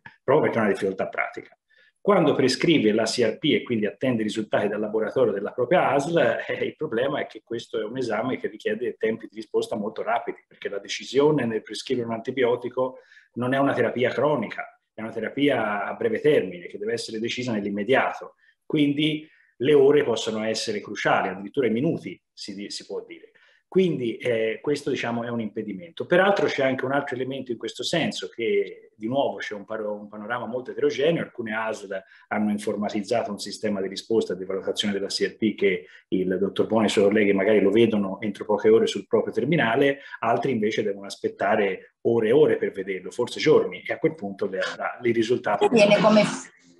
non ha più senso di esistere sostanzialmente. Eh, la logica è che eh, con il nostro database noi abbiamo provato a capire recentemente come poter eh, mettere in evidenza dei dati che possano aiutare a fare da un lato formazione e che possano quindi poi stimolare il medico di famiglia a prescrivere maggiormente questo, eh, questa valutazione previa, ovviamente prescrizione dell'antibiotico per decidere sulla terapia antibiotica, anche conscio del fatto che esiste la possibilità di fare questo tipo di valutazione nelle farmacie territoriali, laddove magari il medico di famiglia non abbia un'immediata risposta che derivi dal proprio diretto ambulatorio. Quello che abbiamo visto è che noi sapete che partecipiamo tutti gli anni eh, con il rapporto OSME da una sezione specifica di appropriatezza prescrittiva, abbiamo già quantificato che per le alte vie respiratorie, ecco l'esempio che volevo fare dove c'è maggiore criticità di inappropriatezza prescrittiva, le infezioni delle alte vie respiratorie, se si parla semplicemente di influenza o di sindrome parainfluenzali, eh, vedono nei nostri dati facendo autocritica fino a un 30% di prescrizione di antibiotico diretta a quel tipo di problema, che quindi sappiamo essere un indice di inappropriatezza molto evidente, dove una delle soluzioni ovviamente, soprattutto sulle alte vie respiratorie, è quella di fare prima una valutazione con CRP, ad esempio. Quello che abbiamo fatto recentemente è proprio condurre uno studio che adesso è in fase di pubblicazione, dove noi abbiamo visto che eh, dove chiaramente la CRP è utilizzata c'è una maggiore eh, attenzione a prescrivere o meno l'antibiotico, quindi c'è una maggiore appropriatezza. Il problema è che è utilizzata molto poco, ossia utilizzata solo nel 2-3% dei casi. Quindi che cosa vuol dire? Che si hanno per le alte vie respiratorie la decisione di prescrivere un antibiotico su base empirica con un margine di rischio molto elevato e quindi di eh, chiaramente spingere sulle resistenze che raggiunge fino il 70-80%. Quindi questo è, è diciamo, l'elemento che ha una maggiore criticità. Dato che sicuramente questo è un ambito clinico-scientifico su cui si può migliorare la preparatezza prescrittiva, questi dati ci dicono che se diamo al medico la possibilità di avere un esame di prossimità che possa essere fatto, eseguito all'interno dei propri ambulatori dove è possibile, o nelle farmacie territoriali vicine, dove c'è questa disponibilità, quello potrebbe essere un elemento determinante per contribuire a ridurre sensibilmente la spinta sulla resistenza eh, antibiotica. Eh, eh. Ah, insomma, direi che stiamo cominciando a disegnare una, diciamo così, una, attraverso una serie di pennellate un perimetro interessante. Allora, questa, queste nostre questo convegno, adesso dopo ci date uh, i dati aggiornati dei congressisti collegati, e, ehm, mh, direi comunque che qual è la funzione? È anche una funzione divulgativa, quella di, questi, eh, di, di un incontro come questo, perché poi attraverso eh, la call to action, le conclusioni, il documento di sintesi, poi queste, diciamo così,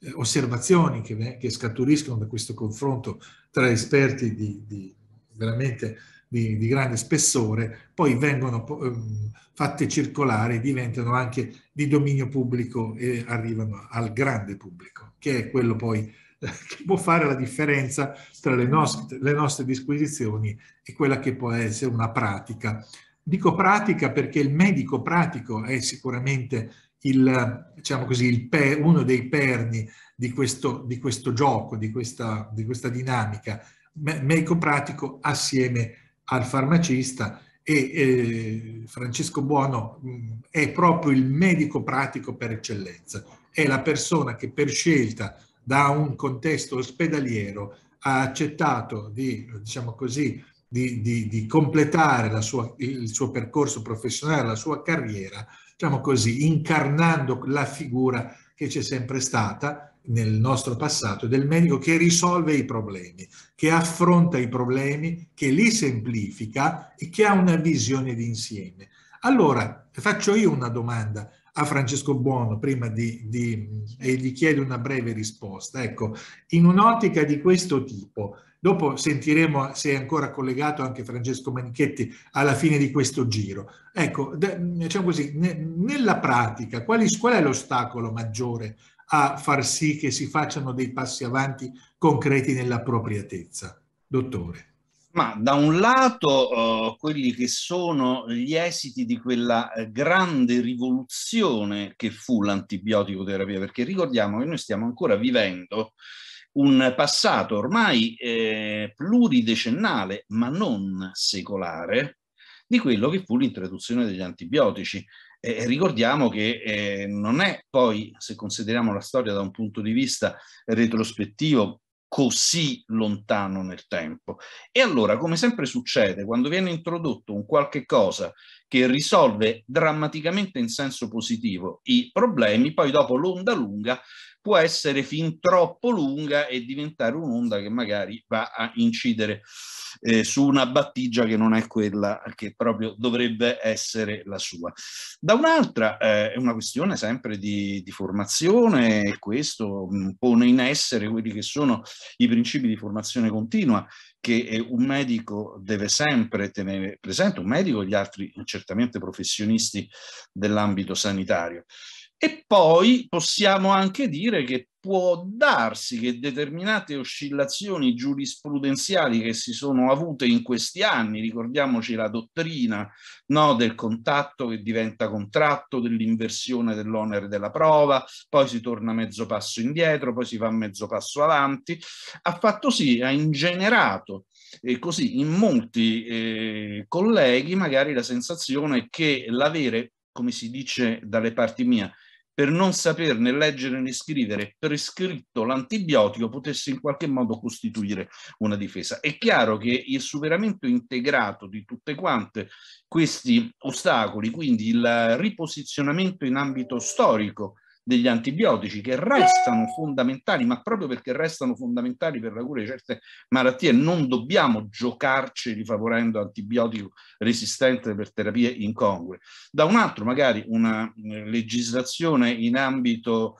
eh, sia, eh, mi riferisco in particolare a quelli che sono uh, le realtà eh, giurisprudenziali che emergono, un pochino uh, diversa da quella che per tanti anni ha imperversato, e da un altro anche la ripresa della voglia di studiare, perché noi dobbiamo studiare, ma non è che dobbiamo studiare DPR, DPCM, DM che ogni settimana, come delle volte capita di vedere, cambiano. Noi dovremmo ristudiare sui libri scientifici e allora più tempo dedichiamo allo studio della burocrazia, per carità, rispetto delle norme è assoluto,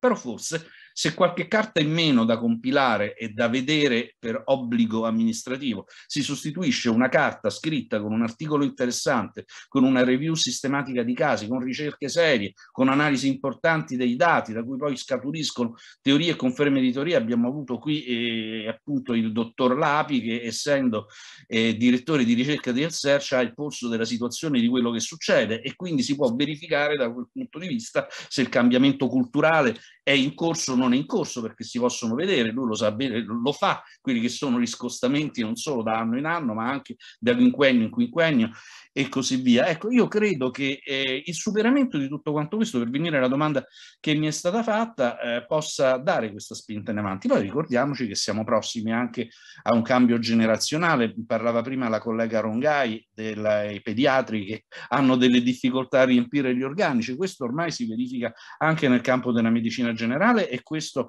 cambierà anche nei prossimi anni. Da un lato può essere crisi, da un altro con questo termine di equivalenza così adusato in questi anni, crisi può anche significare opportunità. No, e allora opportunità di eh, riposizionare, opportunità di rivedere i ruoli, opportunità di andare avanti. Grazie mille, dottor Buono, per questa pronta risposta. Passerei subito la parola al dottor Walter Marrocco, responsabile sì, se è possibile, se è possibile un, un rapido commento che mi era stato sollecitato, oppure se volete aspetto. No, prego, prego, professore, prego. No, a proposito del, del, di quanto è stato detto, eh, è necessario considerare eh,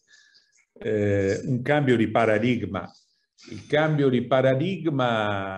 anche medico-legale, cioè passare dalla omissione, dal concetto di omissione, spesso la prescrizione eh,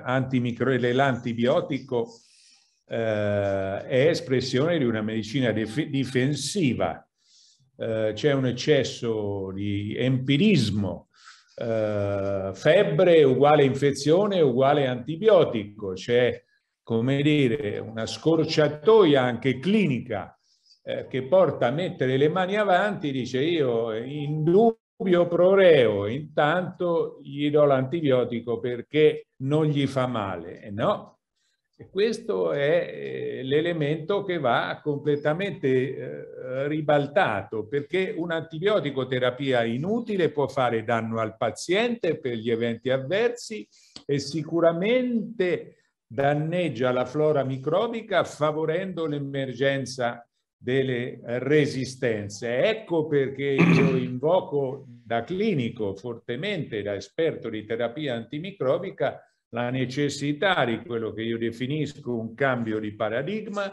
cioè di eh, rimuovere in qualche modo il concetto del reato omissivo, del reato di omissione e di puntare decisamente e professionalmente con l'aiuto di tutte le figure che abbiamo visto protagonisti e ben rappresentati oggi pomeriggio sull'appropriatezza. Non è più l'omissione che ci deve spaventare, ma è l'appropriatezza che ci deve guidare. Grazie. Grazie a lei, professore, grazie mille davvero. Prego Walter Marrocco e poi Luca Pacini. Sì, salve, eh, buonasera a tutti, grazie ovviamente dell'opportunità. Uh, io ritengo che eh, il tema della PCR, molto interessante, sia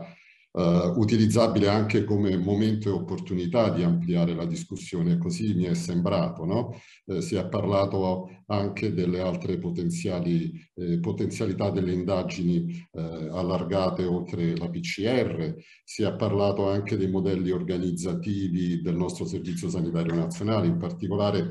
eh, i colleghi, gli amici farmacisti hanno rappresentato tutte le attività che hanno svolto in questo periodo e questo perché eh, anche la tecnologia e il mondo che cambia, le esigenze che cambiano, lo stress che il nostro servizio sanitario eh, ha subito attraverso la pandemia eh, ha creato dei bisogni e a questi bisogni in qualche modo si è risposto. Uh,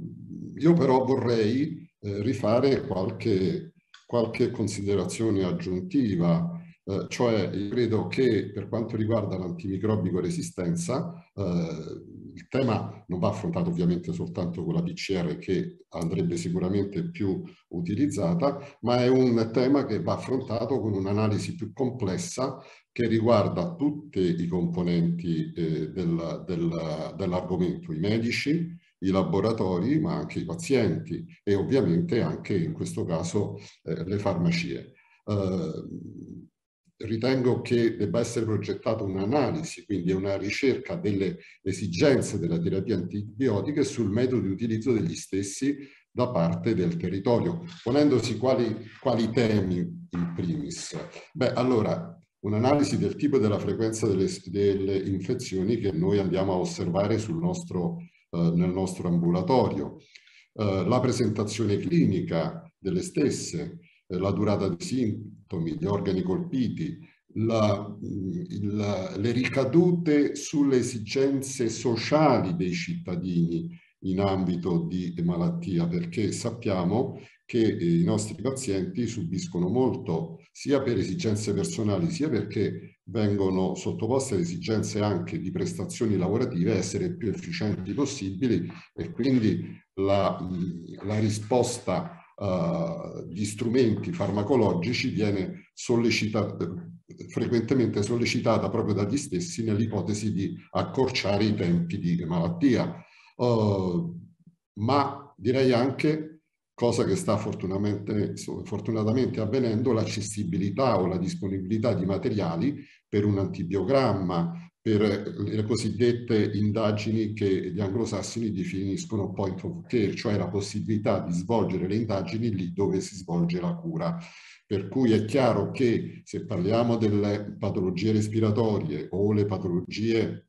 dell'apparato urinario, che sono poi molto uh, frequenti nel contesto della medicina generale, eh, noi eh, in realtà uh, subiamo la necessità di un approccio empirico troppo spesso, mentre sentiamo la necessità di avere casomai indagini che ci danno una risposta più rapida eh, prendiamo l'urinocultura, eh, che richiede alcuni giorni, mentre se avessimo una risposta, non dico eh, al momento, ma in poche ore, eh, potremmo forse eh, dare una terapia in modo assolutamente eh, più mirato.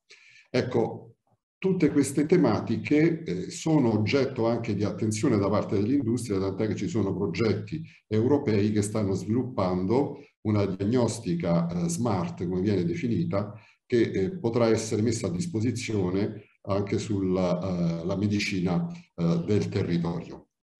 Sarà utile anche avere una collaborazione con i laboratori perché uh, poter avere un quadro epidemiologico delle infezioni del territorio per territorio potrebbe anche aiutare una zona rispetto a un'altra a fare delle scelte di molecole rispetto ad altre e poi ovviamente andare a verificare eh, quali sono le azioni che noi attuiamo dopo la risposta di laboratorio e come riusciamo a intervenire sui nostri eh, pazienti.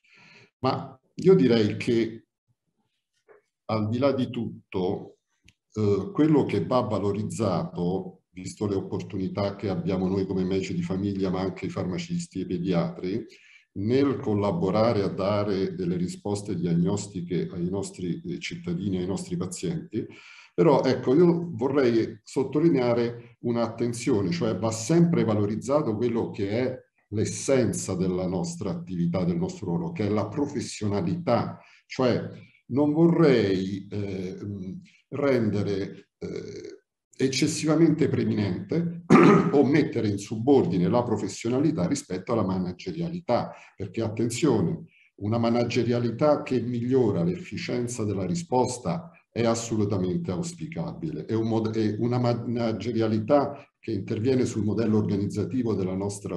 eh, fornitura di servizi è auspicabile. Ma attenzione a non confondere la managerialità con delle, una, una gestione più che altro che data nell'organizzare un servizio a scapito della professionalità. Medici di famiglia, pediatri e farmacisti, a mio avviso, rimangono sostanzialmente dei professionisti. E quindi credo che tutte quelle tutele che professione per professione fino ad oggi hanno caratterizzato la risposta ai nostri cittadini vadano comunque condivise o vadano implementate. Um,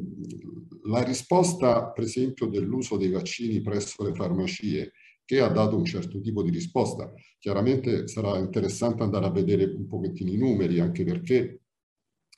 credo che eh, la medicina generale ha svolto un ruolo enorme verso questa direzione, in funzione anche di una uh, ridotta uh, fornitura che c'è stata in molte regioni di eh, vaccini alla medicina generale, ecco, vorrei chiarire che la garanzia al cittadino di, un, di saper gestire eh, l'aspetto eh, anamnestico e anche l'aspetto di eh, risposta ad eventuali reazioni avverse deve essere garantita. E questo, scusate, non può bastare un corsetto, ma serve che tutti acquisiscano quelle competenze che fino ad oggi hanno garantito al cittadino questo tipo di, di servizi. E poiché poi sono stati infine trattati altri temi, tipo l'approccio del paziente al farmaco, ecco io credo che la pandemia ha messo in evidenza un ulteriore aspetto no? che va oltre la, la cosiddetta aspetto diagnostico, che è quello dell'approccio del paziente al farmaco eh, e credo che con il PNRR noi andremo ad affrontare delle nuove ipotesi eh, di lavoro. Uh, queste, queste ambiti organizzati in casa della comunità, eh, eh, ospedali di comunità, le centrali operative, beh, insomma, se noi lo vogliamo lasciare soltanto, speriamo di no, delle mura, dovranno essere riempiti di contenuti e di eh, organizzazione del lavoro. Ecco, io credo che anche lì si potrà gestire per alcune tipologie di pazienti anche una fornitura eh, di eh, farmaci che potranno essere o a domicilio oppure la somministrazione di farmaci che attualmente vengono fatte in strutture residenziali tipo l'ospedale, parlo dell'oncologico, ma credo che invece eh, la fornitura e la somministrazione potrà avvenire direttamente, eh, oltre che nell'ambito ospedaliero, anche nell'ambito di queste case della comunità, dove team multidisciplinari eh, lavoreranno insieme e potranno rispondere maggiormente alla richiesta del cittadino. Grazie. Grazie mille a lei, dottor Marrocco. Allora saluto il eh, dottor Eugenio Leopardi che vedo che è riuscito a connettersi, presidente di Federfarma Regione Lazio, al quale diamo la parola in seguito al eh, dottor Luca Pacini, dottore Università Sapienza, Dipartimento di Scienze e Biotecnologie Medico-Chirurgiche della Facoltà di Farmacia e Medicina di Latina. Allora prima Leopardi e no, poi... prima Pacini e poi ah. direi Leopardi. Allora Luca Pacini, certo. Prego. Allora, innanzitutto buonasera a tutti, grazie per questo webinar e grazie ai relatori che hanno fatto delle ottime esposizioni, addirittura mi trovo quasi in dubbio con tutti eh, gli argomenti che avevo preparato prima di, di me, eh, che sono stati esposti in una maniera direi abbastanza eloquente e abbastanza perfetta. Io parlerei un pochino più da tecnico, se mi permettete. Tutti i dati dimostrano come ci sia ad oggi una inappropriatezza terapeutica quasi del 30% e la proteina C reattiva con altri dati appena pubblicati, leggo qui davanti a me sul New England o sul British uh, Medical Journal, che riesce a recuperare addirittura un 28.8 di appropriatezza terapeutica tra gruppi a cui è stata fatta praticamente questa analisi e i normali trattamenti. Questo che significa? Significa che abbiamo finalmente uno, uno strumento veloce per poter avere una giusta appropriatezza terapeutica, una, una giusta appropriatezza anche prescrittiva, ma soprattutto una cosa, in un uh, discorso che è quello del lab on a chip, parlo in maniera un pochino più tecnica, mi scuso, di strumenti che arrivano ad essere e a dare delle risposte in davvero meno di un quarto d'ora, che riescono a poter essere indice di un biomarcatore che ci può prescrivere o meno una determinata terapia, che come abbiamo visto ad oggi sarà la pandemia del futuro, che possiamo discutere su quella che è e che sarà sempre di più una terapia personalizzata, una terapia mirata al singolo paziente, la problematica sta in questo momento, secondo me, nel risolvere le sinergie, e cioè tutti quei rapporti che ci sono oggi, ma soprattutto tra i, vari operatori, che devono, come ha detto giustamente prima anche il dottor Marrocco, esprimere la loro alta professionalità, perché parliamo di figure altamente professionali, ma soprattutto gestire quella che è oggi una giusta e corretta informazione per il paziente. Per quale motivo questo? Perché realmente la medicina del futuro sarà una medicina molto più mirata, una medicina veloce e quindi da qui a bene il discorso della farmacia territoriale, di, delle case di cura primaria, che gli diano la possibilità di decidere in poco e in breve tempo la terapia giusta, migliore e personalizzata il più possibile al paziente. Purtroppo le altre cose, parlare del 10 marzo della nota AIFA, parlare del rapporto Censis, parlare di dati in questo momento mi sembra abbastanza uh, ripetitivo. Quindi ringrazio voi per questo splendido webinar e ringrazio soprattutto chi ha parlato prima di me. Grazie. Grazie mille a lei, ricordo che questo qua è solo il primo giro di tavolo, poi appunto il nostro, il mio collega Alessandro Malpelo, giornalista, vi farà ulteriori domande per approfondire eh, il tema trattato. Io allora passerei subito la parola al dottor Eugenio Leopardi, presidente Federfarma Regione Lazio. Grazie mille di essere qua con noi. Grazie a voi, grazie dell'invito, mi scuso per il ritardo ma eh, ho seguito da audio che dovevo fare un trasferimento in macchina irrimandabile, quindi comunque ho sentito quello che è stato detto, ho apprezzato le relazioni di tipo scientifico e eh, la, quello che posso dire per quanto riguarda il mondo che rappresento, i farmacisti del Lazio, ma che comunque non, non sono non si ferma nei confini del Lazio perché comunque la professione del farmacista è uguale in tutta Italia e la struttura della farmacia cerchiamo nonostante le 21 eh, sanità regionali, cerchiamo di renderla omogenea sul territorio, combattendo regione per regione per cercare proprio di, di smussare alcuni angoli, alcune diversità regionali. Eh, chiaramente eh, questo progetto è interessante, interessa la farmacia eh, a pieno, perché eh, la farmacia l'ha dimostrato in questa pandemia eh, è stata sempre presente e ha dato una risposta eh, uniforme sul territorio nazionale al cittadino che si è trovato di fronte a un mostro, tutti quanti siamo trovati di fronte a un mostro, con mille notizie che arrivavano dalla televisione, la farmacia è stata sempre una porta aperta sul, eh, sul territorio dove il cittadino comunque poteva venire, si poteva recare. Era un posto di accesso e dove trovava un professionista che ha eh, saputo dare delle risposte, ma questo non per piaggeria, ma proprio per dire che noi ci siamo sempre stati. Il cittadino ha apprezzato questo qua, l'ha apprezzato anche con, eh, con, lo sforzo che abbiamo fatto per, eh, per ehm, effettuare i tamponi. Noi avevamo i media che eh, nei giorni precedenti all'autorizzazione alle farmacie di poter effettuare i tamponi eh, mostravano file interminabili negli hub nei drive-in dei, dei, tamponi e quando le, si è aperto al mondo della farmacia, piano piano queste file sono andate scemando perché eh, il cittadino comunque trova vantaggio nello scendere sotto casa. Questa è una cosa importante ed è maggiormente importante per un tipo di analisi del genere, eh, eh, tipo di, di, di analisi che chiaramente passa per il medico, perché il farmacista è sempre quello del recipe, del prendi, questa è la nostra storia. Il medico ordina e noi eseguiamo. Questo noi abbiamo sempre fatto.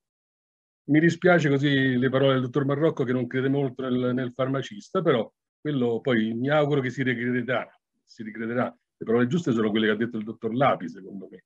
Cioè il cittadino, il medico, anzi il medico prescrittore, ha bisogno di avere subito una risposta.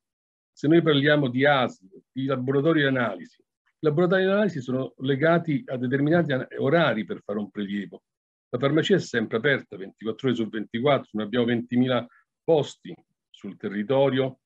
a disposizione del cittadino. Gli ambulatori che fanno orario nel pomeriggio hanno bisogno di poter fare l'analisi della proteina C subito, non aspettare la mattina dopo,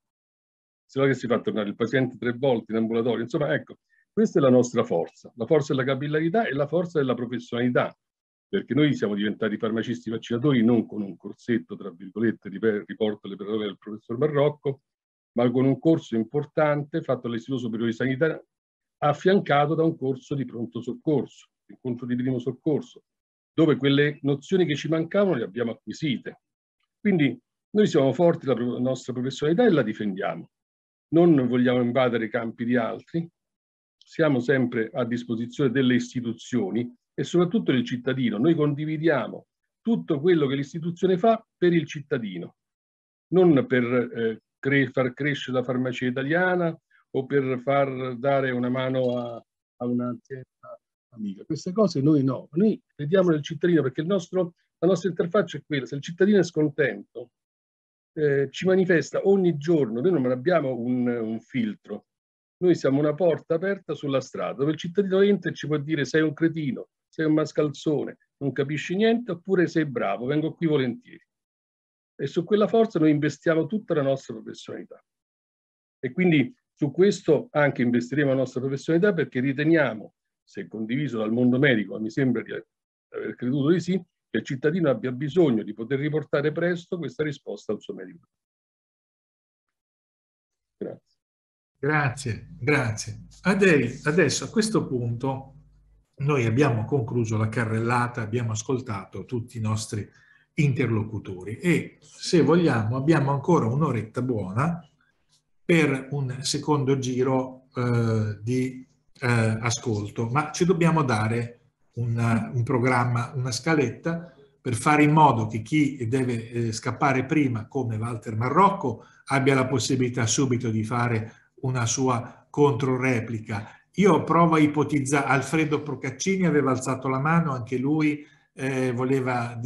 un, dare un suo punto di vista. Io direi che nella seconda parte eh, lasciamo a Francesco Menichetti a eh, Francesco Buono e a Luca Pacini, diciamo così, il compito di tirare un po' le fila. Nel frattempo ci siamo congedati, abbiamo salutato il segretario nazionale della Società Italiana Pediatria Elena Bozzolo che ci ha lasciati e eh, direi quindi a questo punto, se siete d'accordo, o, Marro o prima Marrocco o prima Procaccini e poi Manuela eh, Bandi. Cosa dite? Chi è che vuole parlare prima, Alfredo o Walter? Walter. Allora, scusate, ehm, allora io non ho da fare contro repliche, eh, riaffermo quello che ho detto prima, che tutto sommato mi sembra poi, anche se da posizioni ovviamente diverse, riaffermato dal dottor Leopardi.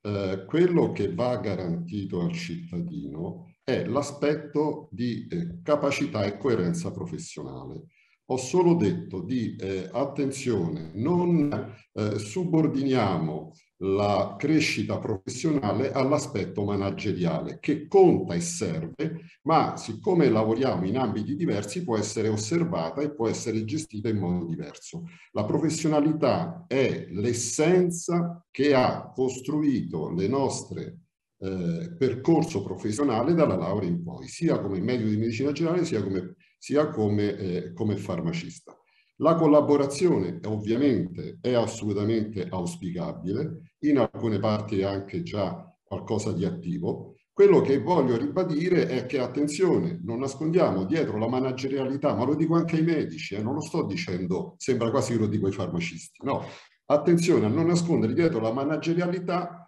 una organizzazione che guardi più che altro al profitto più che al servizio di tipo eh, scientifico professionale che noi dobbiamo garantire perché abbiamo questo obbligo etico verso i nostri cittadini. È solo questo, non c'è nessuna polemica verso nessuno. Eh? Però ricordiamocelo tutti questo messaggio. A seguire si era prenotato Alfredo Procaccini, gli diamo la parola. Prego. Sì. Ecco, grazie. Beh, diciamo che mm, questo Marocco ha cercato di indorare la pillola, ma forse sopra ci ha messo il carico, no? Perché eh, ovviamente fare i vaccini non è un aspetto manageriale, no? Ecco, io sotterrerei un po' questa ascia di guerra che si sta un pochino, che sta venendo un po' fuori. Eh, ci sono delle normative che prevedono alcune cose, si sono sviluppate insieme alla farmacia e con le esigenze di territorialità. Quindi ehm, mi ha preceduto eh, il collega Leopardi, ovviamente noi non abbiamo fatto un corsetto, bensì insomma una preparazione piuttosto attenta di quello che era eh, la necessità per fare i vaccini, però tornerei a dire che questa collaborazione che spesso noi così ci diamo in questi corsi, poi in effetti nella realtà dei fatti bisogna anche applicarla. Allora, ehm, se il medico sa che la farmacia sotto lo studio fa la proteina C reattiva, sicuramente, ecco, può utilizzare la farmacia perché questo può farlo in qualsiasi momento, anche della notte, spesso, no? Le case di comunità, eh, il dottor Bono mi, mi, sembra parlava prima eh, relativamente alle case di comunità di una distribuzione diretta del farmaco. Ecco, a parte che non è prevista e eh, cercheremo di far sì che non sia neanche prevedibile perché noi continuiamo a pensare che il farmaco sia presente sul territorio capillarmente per il cittadino. Noi dobbiamo un pochino a volte, e parlo anche per me ovviamente, smettere di pensare a Roma, a Milano, a Napoli, ma andare un po' a Rocca Canterano, andare diciamo nei paesetti nei quali eh, la, la distribuzione diretta del farmaco rappresenta un onere sociale importante perché ci va il nipote, ci va l'amico, ci va qualcuno a prendere un farmaco lontano 30-40 km. Quindi figuriamoci poi per quanto riguarda le case comunità che servendo 50.000 persone, perché questo fanno le case comunità, avranno a parte Roma, in una, parte, in una non so, in una regione come la Lucania, abbracceranno un tale, una tale ampiezza di territorio, peraltro anche montuoso e con una viabilità tutta relativa, costringendo le persone ad andare alle case comunità a far che? A prendere i farmaci, la terapia per sei mesi, che poi magari dopo un mese vedi che non va bene, la devi anche cambiare, con tutti gli sprechi relativi. Quindi veramente pensiamo al cittadino, io dico questo, veramente pensiamo al cittadino, ma non è il manager farmacista che parla, perché io sono a Roma, peraltro tante farmacie in città, pensiamo a quello che accade nei paesi dove veramente il medico e il farmacista, il sindaco e il maresciallo dei carabinieri sono le quattro figure sulle quali i cittadini si appoggiano. Beh, quelle farmacie, quei paesi, quegli studi medici rappresentano una bandiera importante del nostro servizio sanitario nazionale e vanno utilizzati al meglio. Cioè, se il cittadino deve andare nella casa della comunità per prendere i farmaci e, e, e, metterci una giornata, perché non è come a Roma che ho lo studio sotto casa, cioè l'ASL sotto casa. Questa è una riflessione sulla quale dobbiamo comunque, che è una riflessione che dobbiamo comunque condividere. No? Allora, domandarsi quanti, quanti vaccini hanno fatto le farmacie a tutti gli effetti invece dei medici, secondo me non porta da nessuna parte. Perché non è che io mi chiedo quanti tamponi hanno fatto le farmacie più dei medici, non, non ci interessa. I medici che erano presenti sul territorio e i farmacisti che lo hanno fatto hanno dato alla cittadinanza l'opportunità di fare i vaccini vicino casa, invece andare negli hub vaccinali con la prenotazione e perdendo tantissimo tempo. Questo è quello che noi dobbiamo pensare. Io veramente cercherei di agire in sinergia nei confronti del cittadino, nell'attenzione al cittadino con le normative attuali, perché le normative attuali hanno interpretato una esigenza sul territorio. Non è che il legislatore si è inventato i vaccini in farmacia perché dice, quasi quasi faccio fare i vaccini. No, è stata un'esigenza perché quell'esigenza c'è stata e si è visto che rimane sul territorio.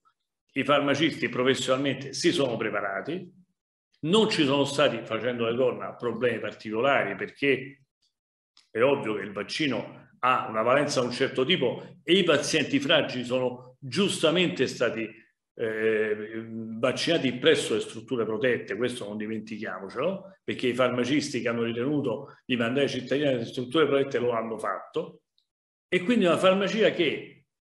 professionalmente sta cambiando faccia, ma non dal punto di vista manageriale, dal punto di vista professionale. In questo si integra il discorso della C reattiva che tutti i giorni, tutti i giorni festivi e tutte le notti può essere una ricerca importante da fare in farmacia. Quindi questo è il mio pensiero, nel senso sinergia vera, professionalità che tutti abbiamo vera, managerialità che serve perché comunque sia stiamo parlando, così come lo studio medico è una piccola azienda che chiaramente ha un affitto dello studio, c'è la segreteria, c'ha tutte le sue belle spese, DP e quant'altro, la farmacia è un'azienda con delle persone che hanno una famiglia a casa che aspetta e che vivono anche di quello. Quindi siamo manager? Sì, noi abbiamo sempre diciamo, utilizzato questa dicotomia. Le farmacie, i farmacisti sono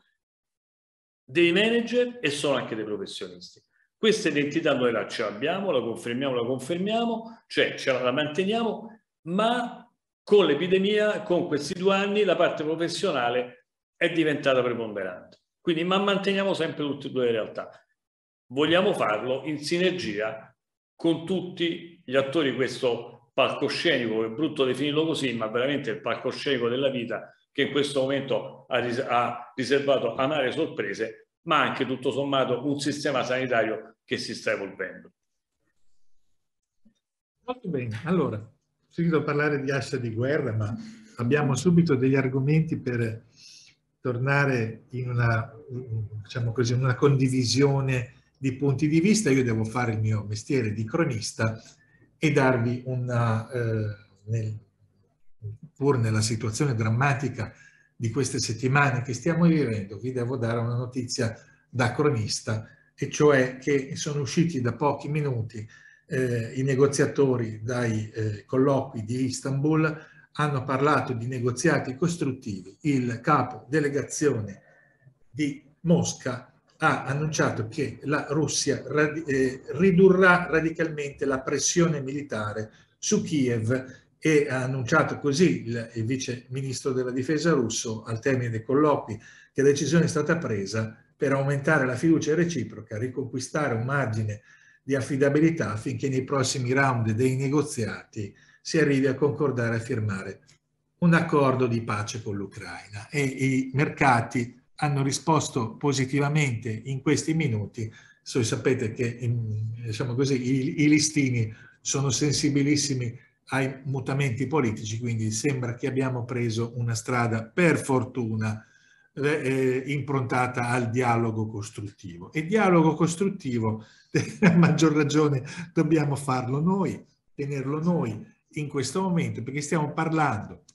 e stiamo cercando in queste battute conclusive di questa nostra giornata di convegno di individuare delle, dei punti di vista comuni e condivisibili che possono tradursi in un progresso, non, una, diciamo così, non nell'ingessare la situazione sic et simpliciter, ma, fa, ma avere un, un, un progresso. Io vorrei chiedere a Luca Pacini di riattivare un attimo il microfono e prima di proseguire e chiudere, se Walter Marrocco ci deve salutare, visto che alle 16.30 aveva questa necessità, eh, noi intanto lo ringraziamo di aver partecipato, ma noi andiamo avanti e chiedo a Luca Pacini se sei d'accordo, certo. diciamo così, un aggiornamento, ma sull'aspetto pratico concreto. Allora, come cambia, diciamo così, la proteina C reattiva? Quali sono eh, le utilità di questi test? Ci dai qualche pennellata pratica così, non, non, in modo da non perdere di vista qual è il nostro traguardo. Anche perché aggiungo solo una cosa, è arrivata una domanda in chat da parte di uno spettatore, quindi è un tema che sta interessando molto il nostro pubblico, quindi se possiamo approfondire, grazie mille. Ci mancherebbe. Allora, rinnovandovi i ringraziamenti, Molto semplicemente la proteina C reattiva viene prodotta dal fegato, come abbiamo visto e come altre persone hanno già spiegato meglio, molto meglio prima di me. Il discorso molto semplice è che è un um, um,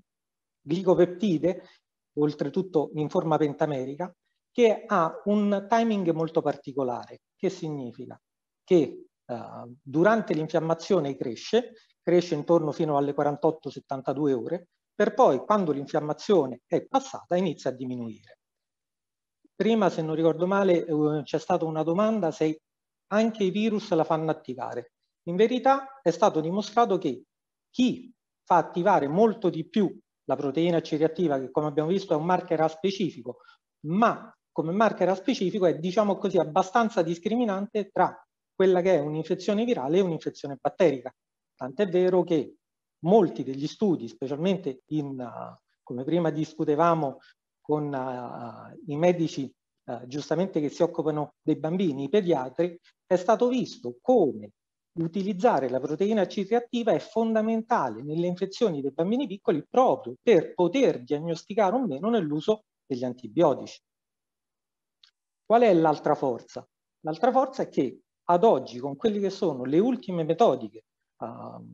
non parliamo di competitor e di case costruttrici, ma diciamo che con quella che è la miniaturizzazione dei materiali, con le nanotecnologie, con quello che è eh, realmente che viene identificato con il lab on a chip, cioè degli strumenti che hanno la capacità di utilizzare da 10 a 20 microlitri di sangue, per renderci conto una goccia di sangue presa dal dito, ed avere la stessa uh, efficacia nella diagnostica di uno strumento presente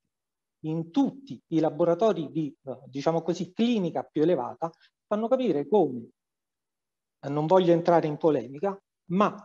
un'analisi fatta in 15 minuti nel far nella farmacia presente realmente, scegliete voi quale paese di provincia uh, rurale o meno, che abbia, tra virgolette, la problematica di non avere il laboratorio clinico o ad esempio di avere il medico, come succede da alcune parti, per tre giorni alla settimana o quattro giorni alla settimana e quindi avere bisogno di una risposta veloce, anche perché il paziente non può arrivare ad esempio al, in provincia, fanno sì che in 15 minuti, il tempo tecnico, si abbia una risposta. Uh, sono favorevole? Eh, sì, sono favorevole all'utilizzo di qualsiasi strumento che mi permetta di dare una pratica clinica terapeutica appropriata ad ogni singolo paziente, soprattutto perché migliorare la pratica terapeutica, la personalizzazione della farmacia e il farmaco giusto alla persona giusta non solo salva il paziente, ma salva noi stessi. Spero di aver risposto. Bene, direi. Molto bene. Allora, siamo a delle battute decisive. Io non so fra i nostri ospiti se Emanuela Bandi vuole inserirsi in quest'ultimo ragionamento e darci certo. Certamente voglio inserirmi, voglio inserirmi esattamente nell'ottica che hanno eh, sottolineato i miei colleghi e che ha sottolineato eh, il dottore nell'ultimo intervento. Eh, lo scopo ultimo del nostro lavoro è quello di eh, rendere la professionalità di tutti migliore e più efficace. Eh, se io in farmacia posso in pochi minuti dare un responso che serve per alleggerire il lavoro del medico e del pediatra che vedrà la persona un'ora dopo ed arrivare già con una risposta che possa essere qualificata, professionale, eh, seria ed è quello che noi facciamo tutti i giorni, che siamo già in grado di fare in questo istante, non abbiamo necessità di attrezzarci, lo siamo già attrezzati. Questo rende migliore il mio lavoro e rende sicuramente migliore e, eh, come dire, più proficuo il lavoro del medico che arriverà immediatamente dopo il mio. Durante questa pandemia è apparso chiarissimo come le forze non possano essere disperse. Allora, ci sono delle strutture già pronte, ci sono, eh, lasciando perdere le caratteristiche legali dalle quali nessuno di noi si vuole, si vuole scostare. Eh, non mi ricordo chi eh, negli interventi precedenti appunto eh, parlava della eh, appropriatezza e del fatto di, mh, di, poter seguire veramente una terapia. Ma caspita, mh, sfruttiamo quello che di meglio ognuno di noi può dare. Eh, il fatto di verificare, il fatto di poter eh, riscontrare se una terapia venga effettivamente portata a termine. Vi garantisco che in farmacia le persone entrano ogni secondo a sottolineare funziona questa terapia, eh, mi sta dando delle difficoltà. Certamente lo fa con una eh, facilità maggiore di quanto non sia l'ingresso nell'ambulatorio medico, che pure rimane chiaramente il punto sostanziale. Allora, un buono scambio di informazioni tra di noi, eh, un buon eh, lavoro professionale in sinergia, a mio modo di vedere, non solo è quello che eh, si, aus si, auspica la professionalità del futuro, è quello a cui eh, le nuove eh, possibilità ci aprono, sia le possibilità legislative che le possibilità tecniche, ma esattamente quello che tutti noi dovremmo eh, cercare, dovremmo ricercare anche con fervore favore. Tutto il resto sono parole interessanti, eh, serie che possiamo fare, ma che non portano nessun beneficio al cittadino finale, che rimane il nostro obiettivo, rimane quello che tutti noi vogliamo fare. Grazie. Eh, bene, se posso eh, rapidamente eh, dare alcune mh, piccole risposte. Intanto il dottor Procaccini, volevo ricordare che non ho parlato di eh, farmaci eh, nella casa della salute, ma non perché non sia un problema, unicamente perché non ho la competenza eh, per farla che ad esempio ha il dottor Marrocco, di cui ricordiamo i numerosi... Era qualcun altro, mi scusi dottore. Era no, no, va bene, era soltanto una piccola precisazione senza alcun problema. Alla dottoressa Bandi, certamente la sinergia è un valore aggiunto, noi lo vogliamo, ma ricordiamo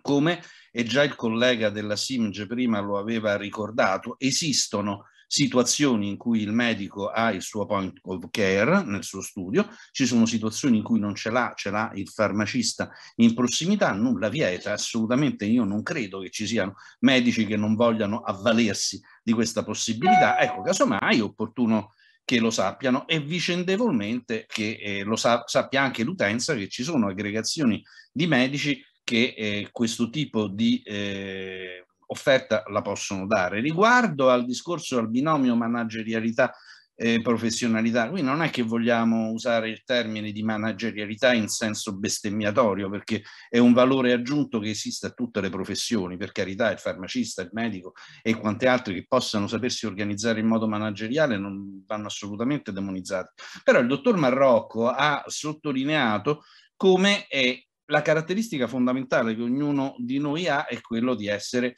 dei professionisti. Sicuramente ci sono dei corsi più approfonditi, meno approfonditi, ma qualunque corso è da libero, quindi non è una questione di farmacisti o di medici, sarebbe lo stesso discorso se venisse fatto un corso di merceologia a un medico e questo potesse essere paragonato eh, con quello che eh, in altri ambiti qualcuno ha studiato in modo sicuramente molto molto più approfondito di conservazioni o di, o di tutta una serie di professionalità, di preparazioni di soluzioni cananiche, insomma ci sono tanti ambiti in cui è giusto, doveroso che ci siano corsi informativi, in parte anche formativi, però in particolare ecco, il, il tampone prevede determinate cose, una preparazione di un certo tipo, la gestione di quello che è il quadro anamnestico eh, personale e anche familiare di un paziente che si appresta a fare un vaccino pone in essere una serie sia di competenze e sia di eh, conoscenza maturata nel corso degli anni, in qualche caso, al, parliamo a livello familiare, anche nell'ambito dei decenni, insomma, ecco, qualche eh, possibilità approfonditiva o conoscitiva in più sicuramente c'era, ma questo non per eh, assolutamente per voler dissotterrare nessuna ascia di guerra di cui nessuno di noi ha proprio alcuna voglia, noi dobbiamo andare incontro alla costituzione di eh, squadre e di territorio, di professionisti che agiscono a livello di territorio che siano il più possibile omogenee, per cui conosciamoci meglio reciprocamente e sicuramente eh, tutto quanto il sistema funziona meglio. Ecco, mi premeva soltanto fare un piccolo, eh, una piccola eh, non chiamiamola nemmeno replica, un piccolo contributo a questo dibattito che sto seguendo con, con, molto interesse, anche perché appunto proviene, proprio perché proviene da professionalità diverse, altrimenti sarebbe un po' un monologo, i monologhi sono, vanno bene ma fino a un certo punto. Non, non per rubare il mestiere ai moderatori, ma credo che se leggete l'ultima chat della dottoressa Infatti, Poma... Esatto, è, proprio, è, la, è la conclusione perfetta di questo simposio. Lo racconto, ci scrive una telespettatrice di Zoom che grazie appunto alla rilevazione eh, in farmacia della PCR, della CRP, chiedo scusa, è stata diagnosticata una bambina di 7 anni, eh, una eh, quasi peritonite, quindi direi che eh, è un esempio pratico. Vediamo, eh, vediamo chi ce l'ha scritto, il nome di chi ce l'ha scritto, se esatto. Elena Maria Baima Poma. Grazie mille di averci portato questa esperienza perché appunto è un, diciamo, un caso pratico del quale discutere è molto importante da affiancare alla teoria sì, di cui abbiamo parlato. Assolutamente, viviamo anche di eh, case histories, di casi esatto. pratici, di casi clinici che ci raccontano, ci fanno vedere come no, no, nella pratica clinica poi si... La, la, cosa più importante è che il, la sua pediatra, in seguito a quell'esame, ha potuto prescrivere un antibiotico che ha contribuito a sfiammare eh, l'appendice e non farla andare in peritonite. Quindi, diciamo, ecco, questo il, chiude proprio il cerchio di collaborazione fra professionisti Certamente. E esatto. Assolutamente così. Eh, mi limito a dire che questo sicuramente è avvenuto, è sicuramente un ottimo esempio di cooperazione, mi limito a dire che eh, laddove esistano questi point of care eh, questi POCT e questo possa essere attuato. È successo in un contesto in cui hanno evidentemente ben collaborato il farmacista con il medico, può succedere in, anche in contesti in cui una, eh, uno studio medico, preferibilmente uno studio associato per tutta una serie di motivi anche di disponibilità di ambienti, può a sua volta eh, diagnosticare e avvalersi della PCR, ma senza alcuna competizione. Si tratta semplicemente di offrire un discorso completo all'utenza, un discorso completo che prevede che varie figure professionali eh, abbiano questa disponibilità. Presto già ci sono degli studi di medicina generale che sono in grado di poter eh, sfruttare questa metodica. L'abbiamo visto per quanto riguarda, ad esempio, eh, proprio il Covid, eh, che qualche cosa, l'esperienza del Covid, qualche cosa di positivo ce l'ha pure insegnato, eh, diciamo l'abbiamo iniziato a sperimentare con il calcolo del COI per quanto riguarda i tamponi e questo sicuramente un domani può essere riversato sulla PCR e su quant'altro, ma senza volere assolutamente eh, tanto per usare un termine un po' sgradevole, sbattere la porta in faccia a nessuno. Qui abbiamo bisogno di porte aperte, abbiamo bisogno anzi di archetti non certo di chiusure. Grazie mille, dottor Buono. E a proposito di eh, casistiche, mh, in questo caso particolari, il dottor Zanon nella sua presentazione di scenario ha detto che eh, la ehm, CRP può anche essere funzionale allo scovare malattie reumatiche e autoimmuni. Eh, io volevo sapere dai appunto dal panel di relatori che cosa ne pensate e se può essere appunto una diciamo prospettiva futura di, dell'uso di questa proteina. Chi vuole rispondere? Chiediamo a Luca Pacini se vuole darci un suo parere. Dopo sentiamo Francesco Lapi su altre questioni. Sentiamo se Luca Pacini ci dà audio e se mi vuole dare un suo parere su prospettive della ricerca e quindi di nuove future applicazioni. Prego. Allora, innanzitutto torniamo al discorso che come avevamo detto prima Zanon espressamente non è indice la proteina C reattiva di un'infezione batterica e basta. Nel senso che come tutte le indagini come tutti i biomarcatori del tipo della proteina C reattiva possono essere differenti i sistemi. Sicuramente avere dei livelli elevati o comunque dei livelli fuori norma. Noi sappiamo bene che, come abbiamo visto, esiste un timing della proteina C reattiva. Vedere che questa ha comunque un livello